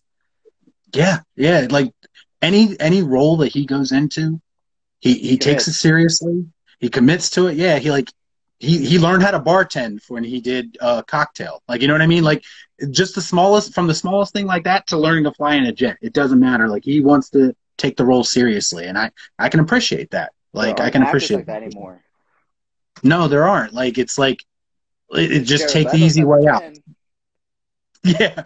right. I'm a method actor. I'm gonna send rats to my co-stars. That makes me a method actor. But it's like right. The, yeah, there's a difference between taking it seriously and being obnoxious. Like that's being obnoxious. You know what I mean? Like, yeah. exactly. Yeah. No, yeah. It's so crazy. I mean, it is what it is at this point. I mean, I mean, hopefully at some point movies change, you know, for the better and whatnot. Yeah, I hope so. I hope so. It's for my sake, you know. It's I don't want to rant about things every day. I want to be happy about the entertainment. You know what I mean? Like, No, yeah, it's yeah. the thing people don't get. It's like we don't want to be sour about these franchises that we love. It's just when you Right. give us stuff that we don't connect with from our childhood, that you're trying to mask as our childhood, it's just Yeah. it's not going to work out. You know what I mean? yeah, yeah, no doubt, no doubt. It's we have a very strong connection to it for a reason. If you try to alter it and you turn it into something that it's not, we're gonna notice. Like, you know what I mean? It's like we grew up on these things. I watched, you know, Star Wars, the first three Star Wars movies a billion times. So if you try to come in and do something different with it that doesn't fit with what I already know about it, I'm gonna notice. Like, you know what I mean? It's like it's just oh, No, it's a natural reaction. Like, you know what I mean? Like, no, and that and the thing is, is like it doesn't even just go into the movies. Like I don't know if you do comics at all, but I was doing comics for a bit, and they try Yeah. to introduce Batman, someone into Batman's history, like he was his buddy in the past and stuff like that. And it's like, how many years have we known Batman? And he's never come across this guy, and now you're trying to introduce. It literally made me stop collecting comics because I was like, you know what, I can't even deal with this shit. You're trying to you're trying to shoehorn something that just isn't going to work. Like, if you want to introduce a new character, introduce him as a new character. Don't be like, oh, he's been part of Batman's past. You just haven't heard him for Right. the past 80, 90 years of Batman's history. It's like, I'm right good. yeah that that's the type of stuff that fast and the furious movies do like you know what i mean like that's that's where those movies are at so you shouldn't have you know things that we love like you know comic batman comics doing the same thing like it's like yeah there's a certain level of continuity and a certain level of lore that you have to abide by if you're going to come in and play in this sandbox you know what i'm saying like it's like Mhm. I don't have a problem with a new interpretation, but you have to respect what came before. You have to understand what came before in order to make a good, you know, next chapter, like basically. So, Exactly. That's what I'm saying. Like, they try to basically mask what they give us as what we used to love. Like, here's a spoonful of Right. sugar, but really in reality, it's salt. right. It's completely Yeah. different. You know, it's like two different Exactly. things. Yeah. Right. It's like yes. just because you you put this label on it doesn't mean I'm gonna like it just because it has the label on it. It has to actually be a physically good movie. It has to tell me a good story. I have to be entertained. Just because you know that's why I think I enjoyed the last Batman movie so much because that was the most enjoyable Batman movie that I have seen since The Dark Knight Rises. You know what I mean? That Right. and that's considered one of the you know the it's not the best out of the three. Obviously, The Dark Knight is, but when you Right. look at the more recent Batman fil- films, that was literally the last one that I can say I sat down and enjoyed in the theater. When I went and saw Yeah. Batman v Superman, that was literally a 14 year letdown for me. I was a kid. you know what I mean? When I saw the cartoon, yeah. and finally 14 years later, they're like, oh, we're going to bring it to live action, and we're blah, blah, blah. You know, it's going to be a Right, yeah, yeah. It's like, and it turned out to be four minutes of BVS, and then the rest of it being Dawn of Justice versus Doomsday. It's like, what the Right. fuck? I, I, I left that movie so disappointed. I was trying to convince Yeah. myself it was a good movie because I didn't want to be disappointed. I was like, it was a good movie. It was a good movie. And I was like, in the back of my mind, I was like, it wasn't a good movie. It just wasn't. right. Yeah. I think uh, that's probably one of the more polarizing movies to come out in the past, whatever, 10, 15 years. Um, I'm a little bit more forgiving of it than some people are. Uh, I actually enjoy it for the most part. I, I'll be honest with you. Um, yeah, it's, and I realize it's not a perfect movie. It's not flawless by any means. Um, but for the most part, I find enjoyment in it just because I, I kind of understand a little bit what he was trying to do with it. It maybe the execution wasn't all the way there, um, but as far as like his respect for this, I do feel like he still has respect for the source material. I, I feel like he Mhm. at least tried to give comic fans something that connected it with the comics. Again, he could have done some things better, but um, overall, like I'm not against that movie just because, and especially the ultimate cut. Like I don't know if you've seen the ultimate cut, the, Oh, yeah. the one where all the stuff's not cut out of it. I think that makes it a much better movie, also. But um, but yeah, like I don't know, like the first time I watched it, I wasn't quite sure how I felt about it. But the more that I've watched it, I've gained a little bit more appreciation for it. Um, that's just me personally, though. And again, I'm a big Batman fan. Like that's that's like my favorite fictional character ever. So it's like, um, and I try to look at him unbiasedly too. Like, you know what I mean? Like I can recognize that the movie's not perfect. Just like, you know, I don't think the Batman was perfect. I loved it. Don't get me wrong, but there's things about it that, that, that I, you know, as a critic, I noticed that could have been better. Like, you know what I mean? But um, but yeah, like it, it's just I, I really do feel like though Batman has probably been the the one superhero that they've treated the best. I think over the past whatever, probably since the dark, probably since Batman Begins. I think. Except for the Josh Whedon Justice League, he was. I, well, except uh, for that, yes, yes, yes. No, I'll give you that. I'll give you that. yes, yes. That one hurts. That's, that one hurts to watch. Yeah, that's the worst. That's the worst Batman since Batman and Robin. I think. Uh, yeah, I, complete yeah, letdown. Yeah, I was just that movie is what made me angry. Like Justice League made me angry. I was okay with BVS. Justice League made me angry. Um, but yeah, it's just yeah, completely underutilized Batman in every way in that movie. Like it's just ridiculous. Like Josh Whedon should never come anywhere near another DC property in his life. yeah, never, man. Please, yeah, never. No, but yeah. I, I totally understand what you're saying about BVS, and yeah, me personally, Batman is also my favorite fictional character as well. Like he's the whole reason I yeah. I train, and I'm workout and all that stuff, and like you should see, I have a whole right. shrine to him over here, and I, I, mean, I have the statue right here and stuff. Like it's part of my podcast yeah, table and whatnot. So, uh, yeah, you know, I enjoyed it because I know the comics. I know what Zack Snyder was trying to base everything off. I knew the comics he was pulling from, but yeah. if you didn't you were completely lost, especially oh, considering oh, no that most of that yeah. movie is a lot of imagery and very little dialogue. But if you know yes. the comics and you know the imagery, which she was literally giving us imagery is from the comics, which is why it was such a connect to the you know comic fans and everything. So we knew what was going on. We knew the storyline without any words needing to be spoken. Yeah. But the grounder, you know, general audience didn't, and I feel like that's where he failed. And for me, yeah. the, the whole reason I'm not happy with that movie is just because they try to shoehorn the Justice League in it. It went from a BVS movie yeah. to being a Dawn of Justice. By the end of it, they weren't even calling it Batman versus Superman. They were just calling it BVS Dawn of Justice. They shoved right. ten years worth of movies into one movie when they could have yeah. just you know taken their time and given us a solid, decent BVS.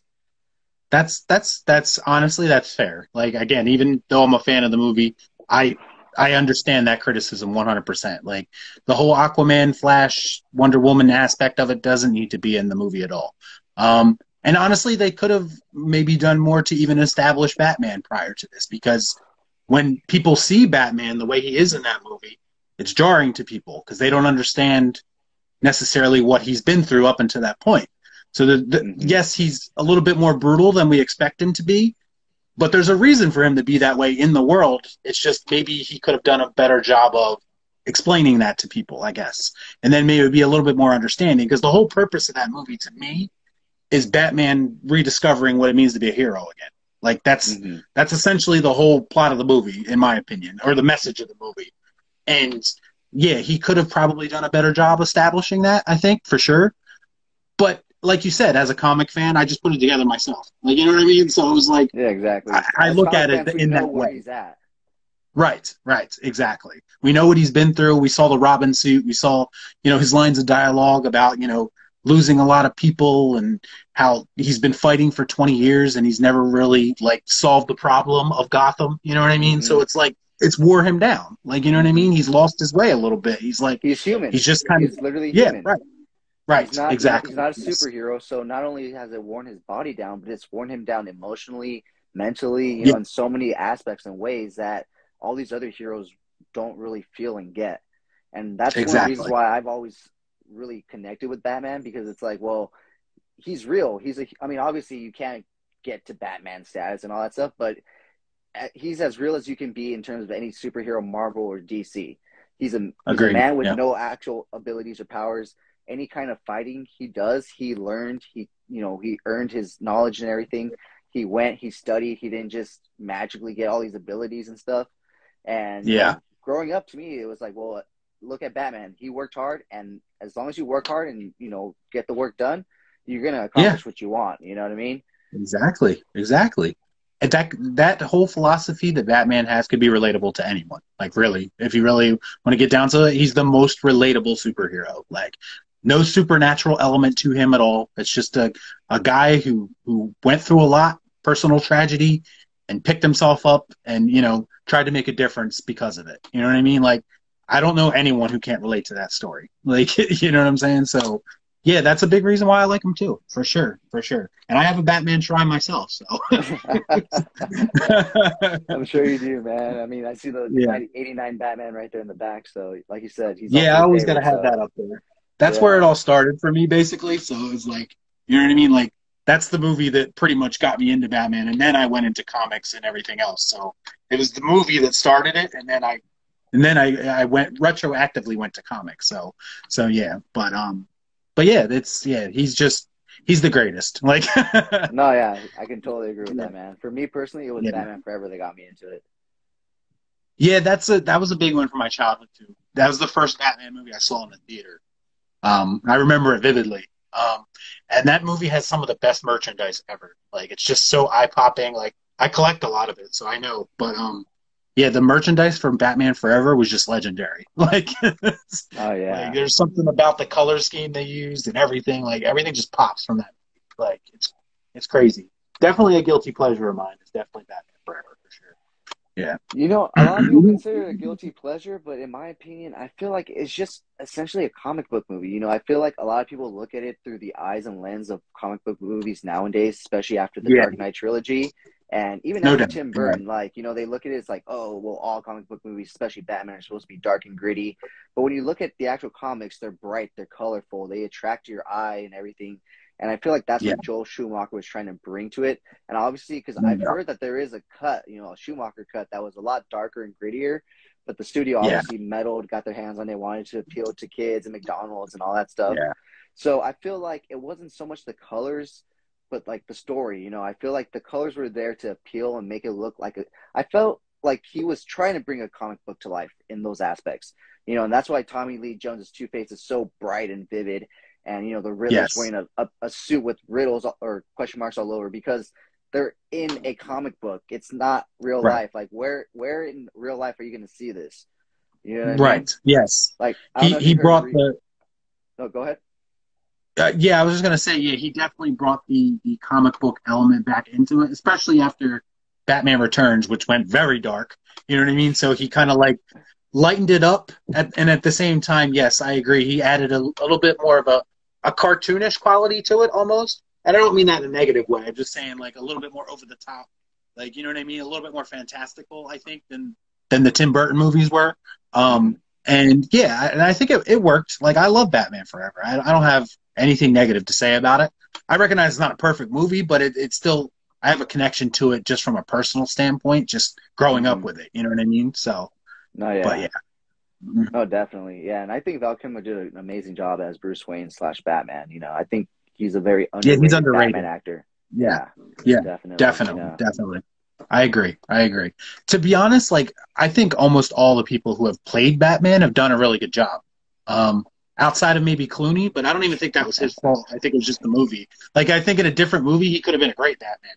But um but yeah, like outside of him, like I think all the Batman actors brought something different to the table. That's what I like about it too. It's like they all like from Affleck to Pattinson to Bale to Keaton to even Kilmer, like each one of them I have love for them for different reasons. Like you know what I mean? So it's like and that's again why I say he's probably been treated the best out of any comic book character, I think. Theatrically. Like, you know what I mean? Mm-hmm. No, yeah, definitely. Yeah. I think it also helps that Batman has so many like slight iterations and variations of himself that you know has Yeah. grown to be you know very fan friendly and fan favorite. You know, you have your you know I feel like people love Batman no matter whether he's in his beginning stages, whether he's in his prime, or whether he's a veteran Yeah. like in the Dark Knight. You know what I mean? And Mhm. we've literally gotten iterations of every single one at this point. We got Bale in all three essentially in a very short, Yeah. you know, quick span, but it, it was all three. We've gotten Affleck in, you know, the veteran, you know, worn down Batman, and now we have essentially the beginning Batman with Patterson. Yep. Yep. Yep. Yep. Yeah. Yeah. They they've covered his whole career almost at this point. So it's like I don't even know where they would go next. Honestly, I guess Batman Beyond is the only thing they didn't cover at this point. I think that's the only like era they didn't cover yet was old old Bruce Wayne. Like you know, right? But yeah, like at this point, yeah. Uh, but I'd be interested to see like if they continue the Pattinson story, um, where they would go with it, because like they definitely leave it in a place where they could do a continuation of it if they wanted to. So yeah, I don't know if it's like if it's more intended to be a one-off or if they do have plans to carry it on. But um, I would like to see where it goes for sure. Yeah, to see him kind of develop his skills. Yeah. No, yeah, I think considering the amount of money it made, I think they are going to look to make a sequel. I mean, Matt Reeves sure already, you know, said he wants to. He wants to explore uh, Mister Freeze in the next one, and you know, yeah. probably more other uh, villains. Yeah. yeah, exactly. So, I think personally, I think it could end up being like a six movie film franchise, in my opinion. I mean, he's young. He's, you know, Batman has a lot mm-hmm. of rogues that have not had their story told. It seems like Matt Reeves wants to dive into those that haven't had their story told. And I think we finally right. have the opportunity to watch Batman actually grow. We saw yeah. a little bit in the Dark Knight trilogy, but like I said, it was in a very short span. Like technically, if you look at yeah. it, he was only Batman for like two, maybe three years in that yeah. continuity. It's like, but then yeah. he's old. yeah. So we I think we have time with this new franchise to where we can actually see him go from being you know a beginner to actually being maybe Batman Prime and ending it there at least.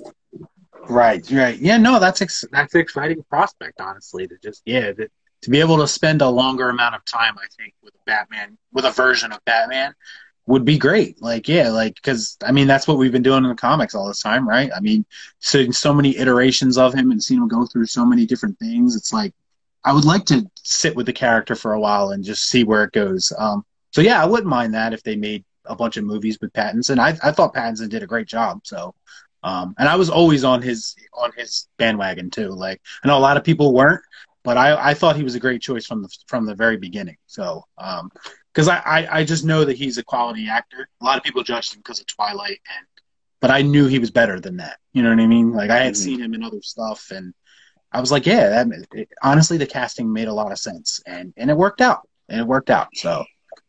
no, yeah, definitely. I mean, I'll admit, I was one of those people that was like, "Oh, really? The sparkly vampire guy?"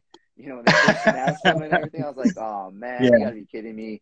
I mean, but another reason why I was kind of like that was because for a long time I've been feeling like I want a new actor to come in and play Batman, like somebody that isn't known, somebody fresh that isn't right. a, a, name. You know, I just want someone to come in out of nowhere and just have a chance at Batman that I know is going to put their all in because this is their chance. You know what I mean? Whereas you keep putting in celebrities and stars in, it's like it's just another movie to them. You know, whereas you give this right. rising star a chance, and if yeah, I, I, feel like they can come up to the to the chance. You know, I feel like they can really yeah. the role. Yeah, no doubt. But I, I honestly, I think um, because Pattin's this is part of the reason why he worked is that I do feel like he has a little bit to prove almost like I feel like he is still trying to to to shake that stigma of the of the Twilight movies and I think that helped him in the Batman. I think it helped him bring it a little bit more. You know what I mean? And because I saw it, I was like, the whole thing was him is that like nobody, everybody was like, well, he's not intimidating in the slightest. So how's he going to be Batman? You know what I mean? But that, but that opening scene, like nailed it immediately. He was instantly mm-hmm. intimidating. Like, you know what I mean? It was like he totally just embraced the whole character. And I, yeah, just like, I, I don't know, like, I think honestly, he, he's not like my favorite Batman of all time, but I really do think he has a chance to grow into something special. Like, you know what I mean? So it'd be interesting to see. Yeah. Oh yeah, definitely, man. I totally agree with the, everything that you said with with uh, you know all yeah. that. You know, like I said, I at first I was like really Patterson, but the second I saw that first trailer, I was like, you know what, yeah. I'm in. You changed my mind. Yeah. Like, you know, okay. Yep. And then I saw the movie and I was like, you son of a bitch. Okay, I'm in. And since it's come to HBO, I've seen it about six times since Monday. Oh, really? Yeah, I haven't. Wa- I saw it twice in the theater. Um, I haven't watched it on HBO Max yet, but I'm going to. I'm waiting for my wife because she wants to watch it too. So I've been kind of waiting for her, but I could probably watch it and then watch it again with her. Honestly. I mean, yeah, I've just had it on repeat. You know, I saw it I think four or five times in theaters by itself, and then yeah, now that it's been in, on HBO, I just have it on repeat. yeah, yeah, I, I don't blame you. I don't blame you. I'll, I'll get to that point at some point. I honestly did that with the Snyder Cut. I'm not gonna lie to you. I watched it several times in a row. So. That movie, yeah, that that was a great movie, you know, and I feel like. Yeah. It was a great movie because it was released the way it was, you know, on streaming and stuff. You know, had it been released in theaters, he would have had it cut it. He would have done a bunch of stuff yep. to it. But yeah, Yep. The way it was released, it was a great movie. I have to admit. Yeah, it was the four hour um, runtime. Like, um, didn't affect me in the slightest. Like mm-hmm. to me, like those four hours flew by quicker than some two hour movies do for me. Like it's like, mm-hmm.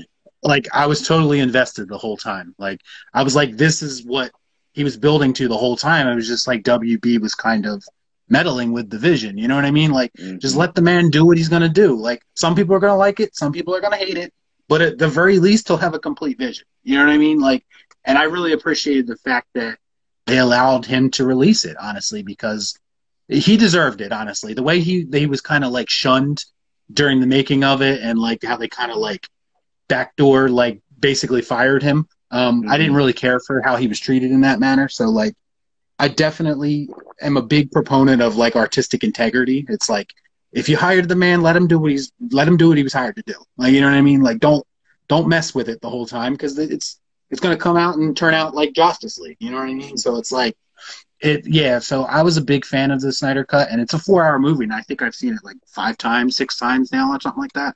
Um, and yeah, I can't get enough of it. So I'm sure the Batman's going to be similar when I start watching that again. So. No, yeah, definitely, man. I can definitely agree with that too. You know, first time I saw Justice League, it, I saw it at my friend's house because he had HBO Max. The next day, I signed up for HBO Max and I started watching it again and again. Yeah. You know. Yeah, so. it was just.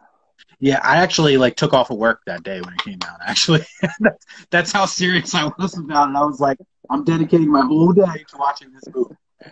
Uh, yeah, it was my favorite movie of that year, honestly. Like, and you're talking to someone who's burnt out on comic book movies, but I was still invested in that movie. So that should tell you something right there. So. no, yeah, I think it had to do with the fact that he was able to treat these characters with enough time and respect. You know. Yes. Then wasn't rushed. Yes. Exactly. Yes. Yeah. It wasn't rushed like you were saying with Batman versus Superman, where he just kind of shoehorned things into it. He had enough time with everyone. Yeah, it definitely. He's a guy who likes to I guess I, I think he's he's one of those guys who, who would definitely prefer to make four hour movies every time. Even though that's not the that's not the Hollywood thing to do. You know what I mean? Mm-hmm. So it's like he's kind of like in a, in a place where like he doesn't really fit into the Hollywood mold. I don't think necessarily. Mm-hmm. But streaming seems like the best route for him, and I noticed he's been releasing a lot of his movies on streaming now, so it makes sense. So Yeah, I mean, hopefully, maybe Discovery will see that you know there is value in him coming back, and he can maybe wrap up his yeah. vision and stuff. Because I think it was, it, like you said, some people were gonna like it, some people weren't. I feel like a lot of people didn't like where he was leading to, like you know, the evil Superman and all this nightmare stuff. But I thought it was an interesting route. I thought it was somewhere that I did want to see more explored and stuff, and you know, seeing yeah. the heroes in that you know kind of apocalyptic kind of like we're the we're the that's it. This is it. This is us yeah. last stand type scenario. You know, we're up against Superman and Darkseid. Like, it doesn't get any bigger and badder than that. I mean, you right. have the biggest bad guy and the biggest hero up against, yeah. you know, a Aquaman or what was it, Cyborg, Flash, Batman, and Deathstroke. You know, Deathstroke. like, like this ragtag group of guys that are all that's left for humanity, basically. Yeah. It's exactly. yeah, I, I would watch a nightmare movie. I would honestly, I would watch a nightmare sequence movie. Like and that was supposed to be. A, there was talks that that was going to be like his third Justice League movie because he had a sequel plan for this one, and then like there was going to be a third one where he would actually explore more of the nightmare sequence stuff. And I, I would I would have been totally down for that. I, I'm all for new interpretations. Like that's what comics do all the time, right? They bring in new writers, new new artists, and they do their fresh spin on Batman, Superman, whatever. Um, that's how we got, you know, great stories like The Dark Knight Returns, and like you got Frank Miller just coming in and just rewriting his version of Batman. Like they should do the same thing with movies. Like let directors come in, and as long as they're true to the character and respect the character, kind of let them take liberties here and there and do like a fresh interpretation. Like I'm all for that. Like honestly. Yeah. I mean, yeah. that's essentially what Matt Reeves did with the Batman. Yeah, it is. Yep, one hundred percent. And he's a talented filmmaker, so I'm glad that they allowed him the freedom to do that. Like, you know what I mean? Like, let these guys direct. Like, this is what they do. They're they're, they're directors for a reason. Like, you know what I mean? Exactly. Like, don't get in the way. Like, yeah. Same thing with Nolan, right? Like, like they let him do what he wanted, and he created a masterpiece. Like, you know what I'm saying? It's like, hmm like just yeah, let these guys do what they got to do. So, No, yeah, definitely. You know, I think hopefully Warner Brothers has seen that. I'm surprised the previous owners and CEOs of Warner Brothers didn't meddle more in the Batman movie. yeah, I know. Yeah, it's So I'm glad they tried. They tried, from what I understand, but um, Matt Reeves basically threatened to quit if they did. So, Oh. so good for him. yeah, good for him. And, and look, he ended up creating, a, like you said, a masterpiece. You know what I mean? I mean, Yes. in my opinion, in the most recent comic book times, it is a masterpiece with all the combination of storytelling elements, characters, uh, practical effects. I mean, you have to admit, even the cast gave it the raw. From John Turturro as you know Falcone to um, Colin Farrell as the Penguin. I mean, he gave it an Yeah. amazing performance. You know, rewatching it constantly, I'm just like, God damn, this guy's performance. He went all out for this. You know what I mean? oh yeah, Colin Farrell's my favorite part of the movie by far. Yeah. Like his penguin was just flat out amazing. Like I wasn't even expecting him to bring that energy to the penguin, but he did. He knocked it out of the park. Like honestly, like Exactly. yeah, like yeah, stole the show by far. Definitely. You know, it was supposed to be the Riddler, but all of a sudden you're thinking Penguin. You know what I mean? Yep. Yeah. Like I want to see more Penguin now. I'll tell you that much. Like, show me more of that guy. He did a great job. Like, yeah, he's getting his own show too, apparently. So that's cool. No, yeah. What's think up, what- Casey? Oh, what's up, man? I, and I think what was great is that he actually used actual prosthetics too. It wasn't like CGI and all this stuff. Once again, going back to that practical effects stuff. Yeah, he was hidden in the in there too. Like, like when you talk about actor disappearing into the role, like if you didn't know that was him, you would never know that was not Colin Farrell. Like, you know what I'm saying? Mm-hmm. Like, and I, that's what I like about acting when they just like disappear into a role like that. Like, that's just crazy to think about. But yeah, he did a phenomenal job for sure. No, yeah, definitely. So we have a question here. Do you think the Flash movie is still going to happen now with everything going on around its main star? Um, I- hope not. Um, everything I've heard about the Flash movie, it sounds like a disaster. Uh, so just like from inside information, rumors, stuff like that, um, it just sounds to me like it's going to be a mess. I don't think they're going to do Michael Keaton justice. I don't think they're going to do Ben Affleck justice. Um, and I, I do think they were on the verge of ruining the DCEU even more so than they already had with this movie um, because this was going to be like a reset of sorts. Um, and I think they were heading down a, the wrong path. And I honestly, I think this Ezra Miller stuff, as much as I don't want to see, I, I, you know, he's got problems obviously, and I hope he gets better. But it's like it's almost a blessing in disguise because I really do feel like that movie should not be released. like I have a bad feeling about it. As much as I love Flash and I want a Flash movie because I love the Flash, I think he's a great Mhm. character who hasn't been utilized enough at all. But that movie just it, it doesn't seem like it was going to turn out very well, um, based on everything I've heard. So yeah, I, I think the new owners, if they know it's good for them, to just cut their losses and just not even release it, or just release it on streaming and be like, oh, this doesn't really mean anything, but here it is. Like you know what I mean? Like it's, That's it's not canon or anything like that. It's just you know an Elseworlds Elseworlds tale or something like that. Like, but yeah, it's yeah, I I don't I. I was interested in the movie at first, but now I'm just like completely shut off from it. Yeah, I'm just not interested. So I kind of hope it doesn't happen, honestly. oh yeah, same. yeah, from from the start when they announced that Michael Keaton was coming back, I had my uh, I had my worries. You know, like I said, it seems like anytime they try to bring back stuff from our childhood that we really connect and love, they try to just Yeah. use it as a mask to something that they want to do and say, "Well, Yep. it's the same character, so how can you be mad? Right. How can you not like it? It's it's him, it's him." But it's like, right. but when It's not him. the, exactly, it's the dialogue. yeah, the right. It's not him. Yeah.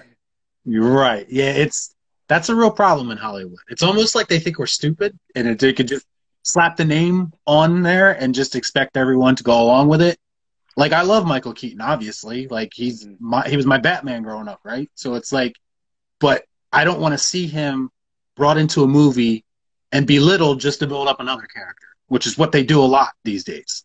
And I could definitely see that happening, especially with the rumors that you know, Batgirl was going to take over for him. We can already see where that's going. You know, you know what I mean? So it's just, yeah, like I just have a really bad feeling about it. Like, as much as I would love to see Michael Keaton one more time, I don't think it's going to turn out well. So it's just better that it doesn't happen. like, you know, like that's Oh, really like after Luke Skywalker, I'm just like, don't ruin any more of my heroes, okay?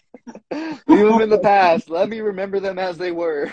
Right, exactly. Like I'm tired of my heroes being just torn apart. Please, just let them let them be. Let them rest. Like But yeah, and I see, and see, I think that's what some of the appeal was to those characters back in the day is that their stories were left open for us to imagine what came next.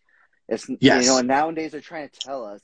Same thing with prequels. I feel like stuff that are prequels to things that were you know from back in the day. It's like, do we really need to know how certain characters got certain ways? Like, like the Han Solo prequel was such a slap in the fucking face. yes, it was. yes, it was. Oh, what's Oh. your um, name? Han. Oh, where, are you with a group? No, I'm by myself. I'm solo. Oh, so that's gonna be your last name, Solo. Han Solo. Yeah, the You- dumbest you, thing. tell me, you, you mean to tell me his name wasn't just already Han Solo? Why? Why Right. can't his name? Why? I, I really want to know why. Why? Why can't this character from a space sci-fi film just be born Yeah. with the name Han Solo? Is it so weird out there that you have to physically give him the name in the prequel? yeah, it's it, that's how lazy it is. It's like that. That's what you wanted to accomplish with this movie is just by basically deconstructing Han Solo, who's kind of a mystery, but that's kind of the appeal of him. Like he's a smuggler, you don't know a lot about him. Like let it be that way. Like you could have had him and Chewie just on an adventure, and people probably would have loved it. The origin story is where you start to start to ruin it because Han Solo doesn't need an origin. Like part of his appeal is that he doesn't have an origin. We don't know where he came from. We don't know who he is really. He's just a cool smuggler guy that we all thought was, you know, the coolest guy in the galaxy. Like, you know what I mean? Like, it's like, yeah, like Disney has this thing where they have to over analyze and over explain everything. Like, it's just, I, and I don't know why they do that. I, I really don't because it just deli- it, it removes all the mystique from these characters, and they've done it countless times with Star Wars characters. Like we just saw it with Boba Fett too. Completely removed his mystique in every way. Like nothing special about him anymore. I it's was just like, why are you doing that? Yeah, it's like I why? are was just about to bring Like, that up. yeah, these characters are are are are beloved for a reason, and it was because we didn't know anything about them. Like that's part of their appeal. Like you know, it's just like I don't. Yeah, it, it- Star Wars is one that um hurt me more than anything. Honestly, it's just oh yeah. because that was my. I, I grew up on it. Like it was a family thing. I watched it with my mom. I watched it with my stepdad, my Yep. dad. Like it was, it was a family affair. Like Star Wars every year, like or whenever they came out, like it was an event. It was like, oh, when we don't have nothing else to watch, we'll watch Star Wars. Like, and they completely ruined my love of Star Wars. like in every way, like I have no connection to it anymore, and it hurts more than anything, honestly. But um, No, yeah, Yeah. yeah, I can Yeah. totally understand that. I mean, you see the Boba Fett helmet right behind me. Like Boba Fett Yeah. was my, or he still is my favorite character. I'm not gonna let the new series ruin what. Oh, yeah, before, no, you know what I mean.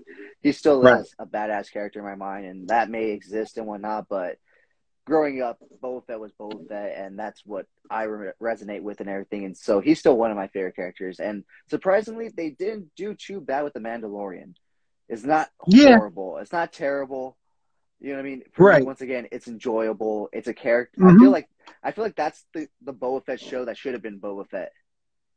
Right.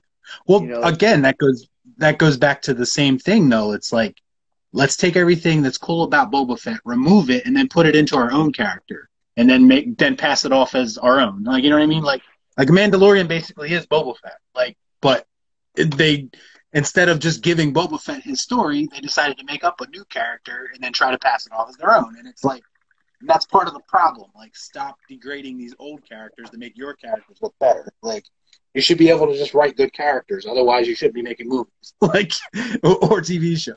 Like, you know what I mean? It's No, yeah, yeah, it's it's really unfortunate. Like the, the path that they've taken. Like, I, I would love for someone to buy Star Wars and not be under Disney's umbrella anymore, but I know that's never going to happen.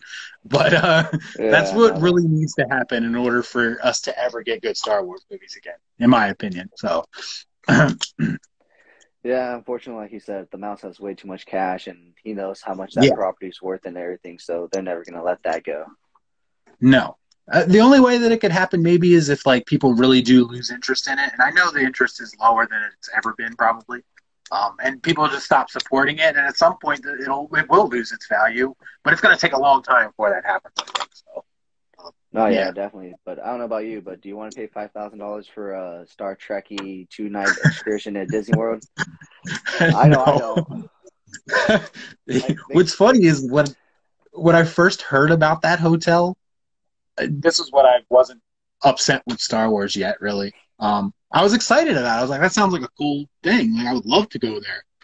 But as the years went on, I you know got tired of the way they were treating Star Wars, and and then when the price came out, I was just like, Jesus, like how is anyone ever going to be able to afford to go that unless you're like rich? Like you know what I mean? Like like is this just for the, the extremely wealthy people? Because there's a lot of regular people out there who are Star Wars fans too. Like you know what I mean? It's like they shouldn't have to mortgage their house to go to a hotel. Like you know what I mean? For two nights. For two nights. right, exactly. Like it's yeah, I I despise Disney with every inch of my body. So if you ever watch my channel, you'll get that impression real quick. I'm not a Disney guy at all. Like they're the bane of my existence right now. I can see that.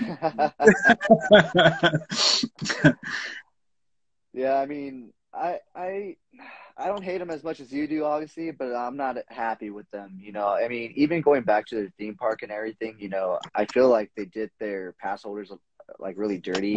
They like just instantly Yeah. took away their passes when everything happened. They didn't even give them any kind of you know say or anything. It was just like, okay, we're gonna take this away. We're gonna reinstate this new thing and all this other stuff to the point where I had just actually bought a pass, and I, you know, I love Disneyland as a theme park. Like it's fun to go to. Living here in California, I grew up going, and so it's it's fun. But now it's like, well, you have to make reservations. You got to do this. It's like it kind of takes away from the past and being able to go where you want to. And so Yeah. I don't know. I was like, you know what? I'm not going to put my money. You know, and that's a, that's what we can do. That's the only thing we can do is just not put our money there. And obviously, with Disney being such a big company, my money's not going to make a difference. But at least I can put that money that I was going to put there to other things that I want. Right. Yeah. No, it's you have to you have to talk with your wallet sometimes, and I don't I don't support Disney in the slightest. I I'm able to watch some of their shows, but I don't pay for it. I'll put it that way. So so I just watch them for content reasons. Um, but I would never give them my money in a million years. Like not even the movies in the theater. Like if I can't see it for free, I'm not going. So it's like because they've already shown to me that they don't have a real respect for the things that I love. And that goes for Marvel too, in, in many ways. Like I'm not I, I said I'm a DC guy, which I am, but I have a lot of love for Marvel too. Um, but I don't like the way that they treated Marvel either, for the most part. Some things, yes, but other things, no. But um, it's just Disney to me is like they basically sum up all my problems with entertainment. It's just like to me, they just make things to make money. There's no artistic integrity Very whatsoever. cookie cutter. It's very cookie cutter. Yes, it's formulaic. Um, like the entire MCU is as successful as they are. It's a formula. Like it's very clearly a formula that they're running. Um, and they tried to apply that same formula to Star Wars, and it didn't work. But it's like yes, like to me, they have no creativity whatsoever. I, I say this all the time in my videos. Disney is the enemy of creativity, and I strongly believe that. Which is crazy to think because they used to be the epitome of creativity. like they were the, you know what I mean? Like as a Yeah. kid, like I was, I was, I loved Disney as a kid. Like you know what I mean? Mhm. Like the old Disney movies, I watched them all the time. The animated like classics. And my my kid's room is going to be modeled after some of those movies because me and my wife both loved them growing up. You know what I mean? But modern Mhm. Disney is not the same company. like it's not the same Oh company. yeah, definitely no. Yeah, No, they, but I like um, they don't even treat their own properties, you know, with respect either. You know, like when you look at some of these remakes that they make, it's like they can't even treat their own properties with respect. So how can we expect them to treat these other franchises and properties with respect that they've bought? Exactly, exactly. Like when I saw the the remake to a Lion King, I was disgusted. Like I was like, because the Lion King was like the the movie, the, the big Disney movie that came out when I was a kid, right? Like it was like a huge deal, and I remember going to the Mhm. theater and having it on VHS, and I watched that remake, and it was just completely soulless. Like that's the only way I can describe it. Like completely devoid of any of the charm that the original Lion King had. Like just boring and bland and just an obvious cash grab. Like that's what it was. Like you know what I mean? And it it, it hurts my soul because it's like yeah, like I love these movies, but like I just can't. I, I, I can't get along with the way that they are handling them. Like it's just yeah. So it is what it is. No, yeah, definitely. Casey says he's glad he has his original Star Wars on VHS still. Yeah, man, I I have so many Star Wars box sets because they release so many of them. like I just collect Star Wars box sets basically Yeah. of the original three movies. It's like yeah, they had special editions and yeah, I have unlimited. Like I have, I think Star Wars is the original Star Wars trilogy is probably the thing I have the most of on physical, like the most versions of it, like Blu-ray, DVD, mm-hmm. like five different. Actually, you could see them right out there. There's like five different box sets up here that are just Star Wars. Like it's like yeah, It- yeah. Star Wars was like a huge deal for me. Like it was like one of my probably the thing that had the most influence on me as a kid, and it just like they completely killed all my interest in it. It's it's terrible. I hate it. I, dude, I can completely agree with you because I was the same way. You know, it was Batman and Star Wars for me. You know, tied right there. You know, growing up, it was always them two and stuff. And yep. lately, Yeah. up until this last Batman movie, it was a very sad existence for myself. Yeah. yes. Yeah. It's been rough. It's definitely been rough. So yeah. Yeah. I'm right there with you. I'm right there with you. Yeah. Yeah, but th- it seems like hopefully things are starting to change at least on the DC front with Batman at least. So that's that's I something hope so, positive to look forward Yes. to. You know. So yeah. As long as they don't start meddling again, I think we'll be fine. Um, but we'll see. we'll see what the new owners do. like I said, I don't think they spent forty three billion dollars to not make more money. So I think they saw Yes. what Matt Reeves did with his interpretation. I think they're going to put some faith in him. Maybe throw a little extra cash in the next one, and uh, I hope so. We can get Yeah. you know, something even better. yeah, I would I would love to see it. So yeah, we'll we'll see how it goes. Um, I we can only really go up from here. I would like to say we can only go up from here because we're pretty much at an all time low. But um, you never know. It could get worse. I guess it could get worse. So we'll see. Let's hope not, right? Yeah, right. So, man, what would you say are some of your favorite classic films? Uh, let's see. Um, as far as yeah, as far as classics, do you mean like? Do you mean necessarily like older? 2000. Anything before 2000. Anything before 2000. Okay. Um, well, I mean, one of my favorite films, the classic of all classics, is probably The Godfather. I would say. Um, another movie that I grew up watching with my family, so I have that connection with it. But um, Mm. I, I think it's a perfect movie, pretty much the best movie ever made. Um, so yeah, that that would probably be up there on my list. Um, I'm a big Rocky guy, so a lot of most of the Rocky movies, I'm definitely um, in on them. I'm actually a big Rocky three guy. I don't, I, I know not many people can say that, but um, Rocky three is one of my uh, one of my favorite movies growing up because it had What the it wrestling. it? connection. Oh, okay. Uh, It had the wrestling connection. That's what it was for me. I made the connection because I was a big wrestling kid also. So like to see Hulk Hogan and Rocky and Mr. T all in a movie together, it was just very appealing to me. Um, so that that's where that connection happened. Um, yeah, as far as other things, I mean, I say pre two thousands. It's pretty much your standard stuff like your Back to the Futures, uh, your Terminators, Aliens, uh, Predator.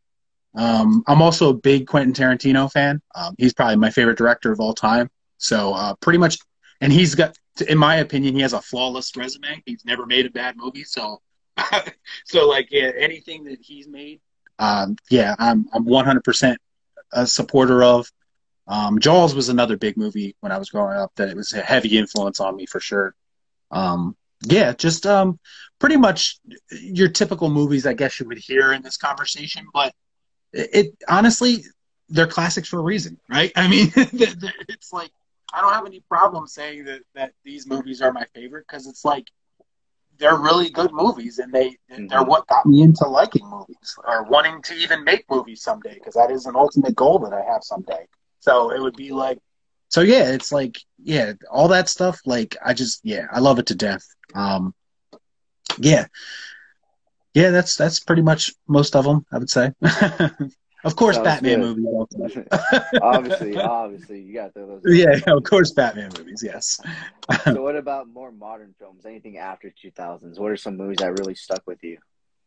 Um, yeah. So uh, I was thinking about this actually because I don't get asked that question too much. Um, usually it's more about the older stuff, but um, uh, some some of them that I thought of initially that stick out to me. Um, uh, Mad Max Fury Road is one of them that sticks out to me. Um, I really enjoyed that movie. Just a visual masterpiece, in my opinion. Um, Joker is one that sticks out to me. Um, I love Joker. I've seen it probably a billion times at this point. Um, watch it pretty frequently. I just love everything about that movie. That movie blew me away the first time I saw it. Like, I was like dumbfounded when I left the theater. I was like, I, I didn't even. I went into it not even knowing what to expect, and I just loved every minute. of it. Um, No, yeah, definitely. yeah. Um, Once Upon a Time in Hollywood is another one that I really love. Um, again, I'm a Tarantino guy. To me, um, just as good as his best movie, Pulp Fiction. I think they're one and two. I love both of those movies to death. Um, probably two of my biggest influences, um, for sure, would be those two movies. The Dark Knight, of course, is another one. Um, I'm trying to think. There was one more I was going to say. Uh, oh, as far as comic book movies, because I always talk about how comic book movies that I've kind of just gotten tired of them, but there was a time when they were making some comic book movies that were different than others, and Logan was one that really stood out to me also. Um, yes, That was a I, I. like Logan is one of the comic one of the few comic book movies that I actually felt emotional while watching it somewhat. Because I was like being a kid and kind of like watching Hugh Jackman take the whole you know the whole journey from the beginning all the way until his final moment it was like to me like I didn't realize how strong of a connection I had to him as the character until I watched that movie. Like you know what I mean? And then I'm oh, like oh yeah, wow, like I love everything about Hugh Jackman as Wolverine now. Like it's like it just that movie hammered it home. It was like yeah, Logan was yeah, one of those comic book movies that I feel like doesn't get enough attention. Like you know what I, you know what I mean? So so yeah, that was definitely one of them too. So so yeah, there's there's there's a bunch. Um I'm a big like uh, classic director guy, so like so like anything from like Scorsese, Tarantino, um David Fincher's another one um, with like Seven and and and uh, Fight Club and stuff like that. Like these type of guys are the guys who influence me uh, quite a bit, and just like yeah, like to me, the classic directors are still the guys who are putting out the best content even to this day. Like you know what I mean? Like they haven't lost their edge at all. Like like I just watched um, who was it? I think it was was this, yeah I just watched. No, I just watched uh, Fincher's last movie, and like it's completely unlike any other movie he's ever made. And I was just like, this is what Hollywood's missing right now. They need guys like him to come in and like deliver these original ideas again. And it's just like they're the types of things that the types of guys that excite me as far as the movies they make. But um, yeah, Christopher Nolan's another one. That's another one. Yeah, anything he makes, I'm in on. Pretty much. oh yeah, definitely. Yeah. Oh yeah, One of the filmmaker. my favorite movie from him, non Batman, is Interstellar. Uh, That's I, I, lo- I love Interstellar. Yeah, Yeah, that's one of my favorites. So, so yeah, Oh, yeah, yeah, that's pretty much as far as like modern movies. Yeah, that's pretty much the ones that I prefer. Yeah, for sure. All right, well, time for the harder question, probably the hardest question that any movie reviewer or lover can be asked. Top five of all time, man. What are they? you, you do you realize this is a very hard question for me. Um, oh yeah. you don't know how many times I've tried to um, make this list and make a video about it, and I always just stop doing it because it's just it's too it, it's too it's too much pressure on me. I guess I don't know um, because it's a very hard thing to hammer down, but I think I kind of hammered it down for you enough, at least for today. Um, uh, It might change tomorrow. Right, exactly, yeah. So as far as my favorite movies of all time, my top five, I guess I'd say. Um, one would be um, Pulp Fiction. Um, yeah, that's the movie that got me into Tarantino, and um, I think is pro. I, no, I, I do think it's his best movie, and just for the dialogue alone, um, when you could keep my attention through a whole movie using mostly dialogue, I know you're doing something right, and that's something that he's really good at. And Pulp Fiction is one of them. Uh, the Empire Strikes Back is probably in my top five. Um, my favorite Star Wars movie. Um, to this day, um, I don't think we've ever seen a sci-fi movie on that scale pull off what that movie pulled off. Like I can only imagine what it must have been like to watch that movie in the theaters and to get the you know the big reveal at the end and all that. Like to me, like George Lucas completely outdone himself with Empire, mm-hmm. and I, don't think anything would ever touch that in the Star Wars universe ever. Um, another movie is Predator. Um, Predator is, in my opinion, the greatest action movie ever made. Um, I'm a big action really? guy, 80s guy. Yes.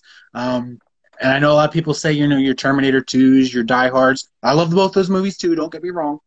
But Predator is the greatest action movie ever made, in my opinion. I love that movie to death.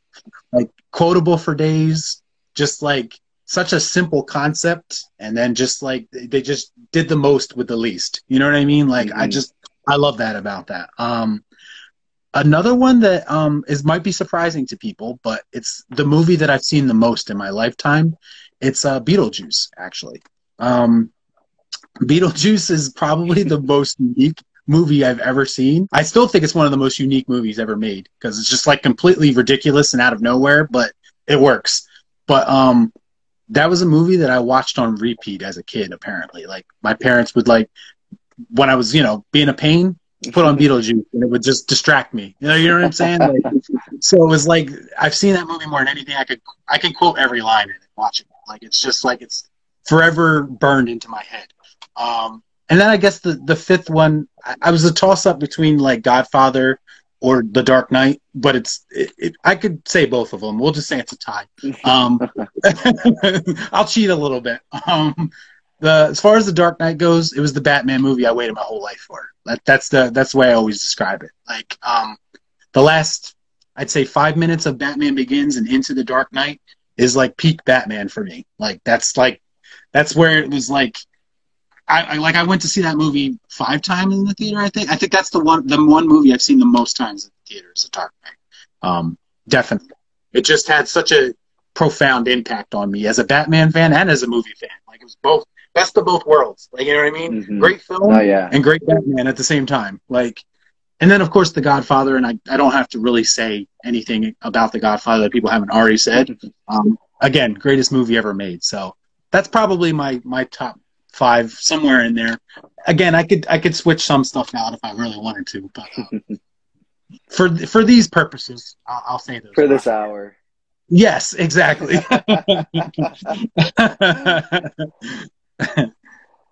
no, yeah. So that's a great list, man. That's a good list. You get you pull from a little bit of everything and stuff. So yeah, you know, I mean, you definitely can see that and the inspiration yeah. that it's had on you and everything. And yeah, I mean, I think on those top five lists, you have to cheat a little bit, you know, sometimes.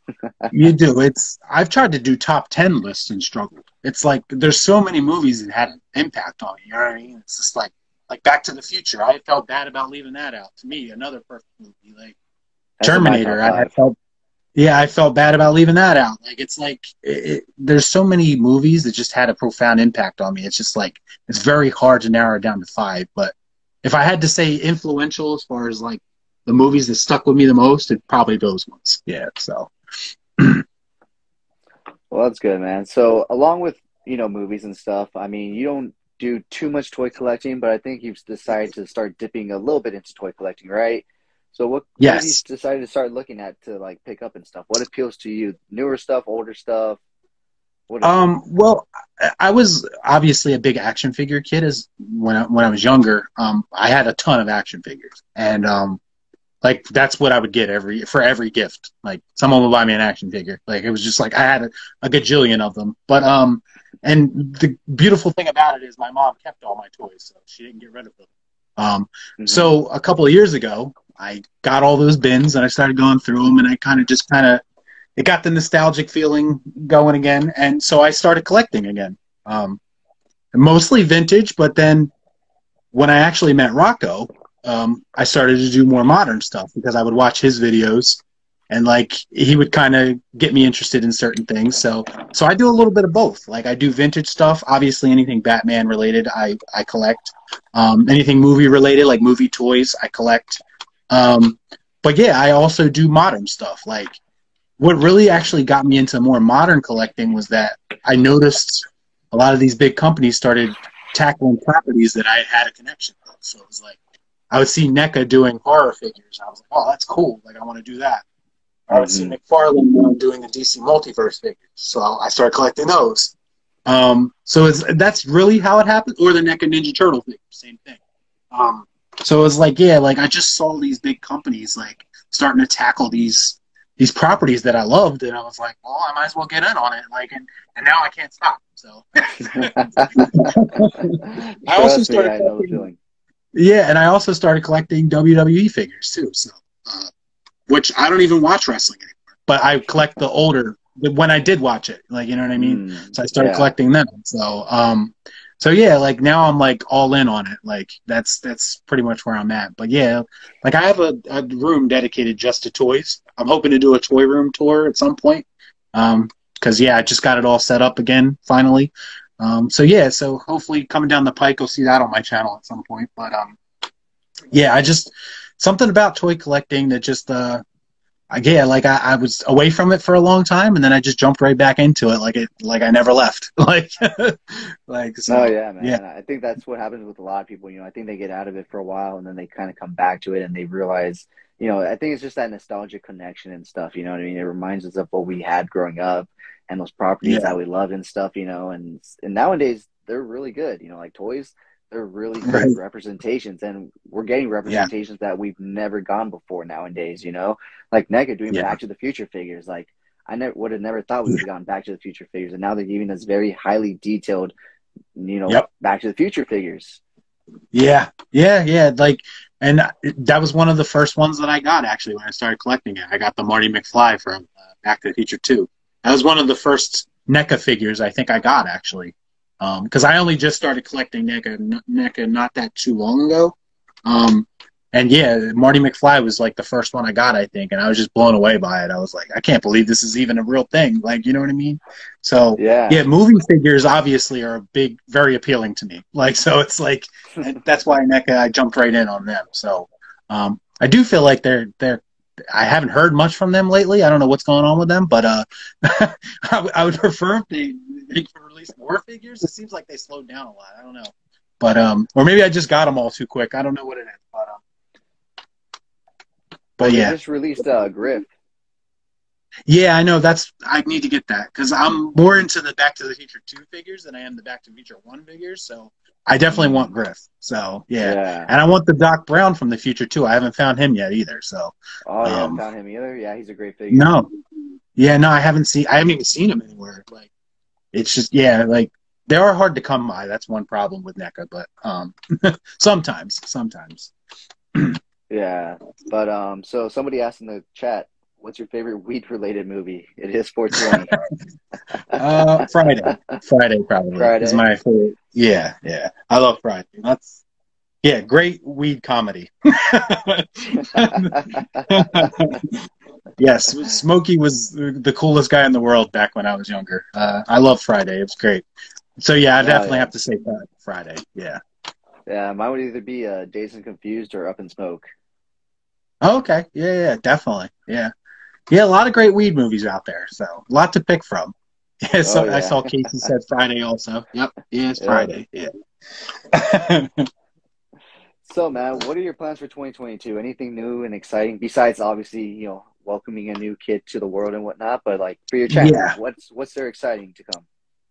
Well, um, I think uh, this year, obviously, I want to keep hustling, keep growing, of course. But um, my main goal, I think, with the channel is to do more um, original content, um, and that involves either just skits or it could mean as much as like doing short films of some kind or shorts of like to me um, it's really important to me that i um, practice what i preach. So if i'm not getting something from hollywood i would like to try to start creating my own stuff. Like you know what i mean? And and i see a lot of people doing that now on youtube kind of taking their own route and you know you see rocco doing it with his toys and i want to do the same thing with movies like i have a lot i have a binder this thick of movie ideas that I've just been accumulating over my entire life that I've never done anything with. You know what I mean? So Mhm. like, so I would just love to kind of um, get into original content like that. Um, I did one kind of short film on my channel one time, and um, it wasn't even really planned. It was like I was doing a skit, and it just kind of blew up into like this ten minute little tiny short film. It's like a Friday the Thirteenth film, basically, um, fan film essentially. And I had such a blast doing it. I was like, man, I, I wasn't even really trying, but I was like, this is what I should do. Like, you know what I mean? Like, mm-hmm. it was almost like it was my calling. Like, I, I've tried to make a film twice in my life, and it didn't work out really either time. But it's not stopping me because I know I could use YouTube to kind of like use it as a platform to do something like that later on. So, and, and I didn't have this platform before. So, but yeah, that's definitely my biggest goal is to just yeah, just be more creative. Yeah. well, sounds good, man. Sounds good. So, is there mm-hmm. anything besides you know your YouTube or anything you want to plug real quick? Uh, no, yeah, just uh, if anything, just if you're interested and you haven't already, please just come subscribe. Uh, yeah, check out some of my videos and definitely leave comments. That always helps. Uh, YouTube algorithm is really bad right now, so it usually is. It's hard to get views on, on there, but comments definitely help. So, um, yeah, any support would be greatly appreciated. Um, and thanks for having me on. Of course, that that that, that was great. I really appreciate that. I appreciate everybody oh, yeah, in the chat. Yeah, yeah, definitely. So, so yes, on the road to two K. Uh, no, I think we. Yeah, I think we covered everything pretty much. Yeah, I think we're good.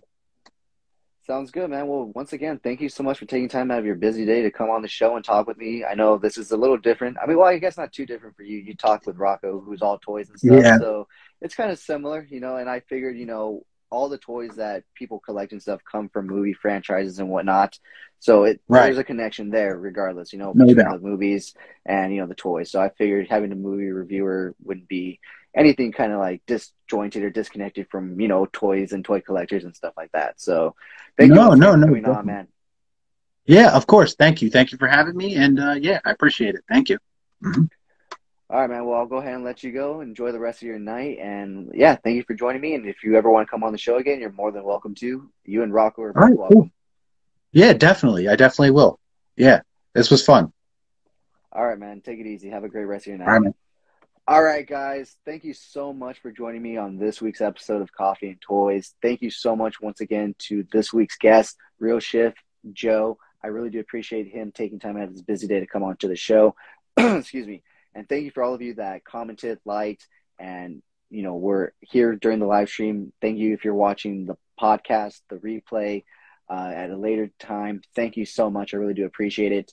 Uh, next week, there will be no show. I am going on vacation for my birthday, so I won't be around, although I may do a surprise spontaneous coffee and toys live not too sure yet maybe depending on if i have the time if i remember to do it uh, so stay tuned for that but in terms of scheduled guests nothing so far uh, but come back may 4th star wars day where i will be back for episode 14 of coffee and toys live with Can't Kill Chewy. If you don't know who Can't Kill Chewy is, he is a YouTuber that puts out a lot of great top 10 lists in regards to Star Wars Black Series figures, vintage collection figures, and stuff like that. Definitely check out his videos. They're very entertaining, they're very informative.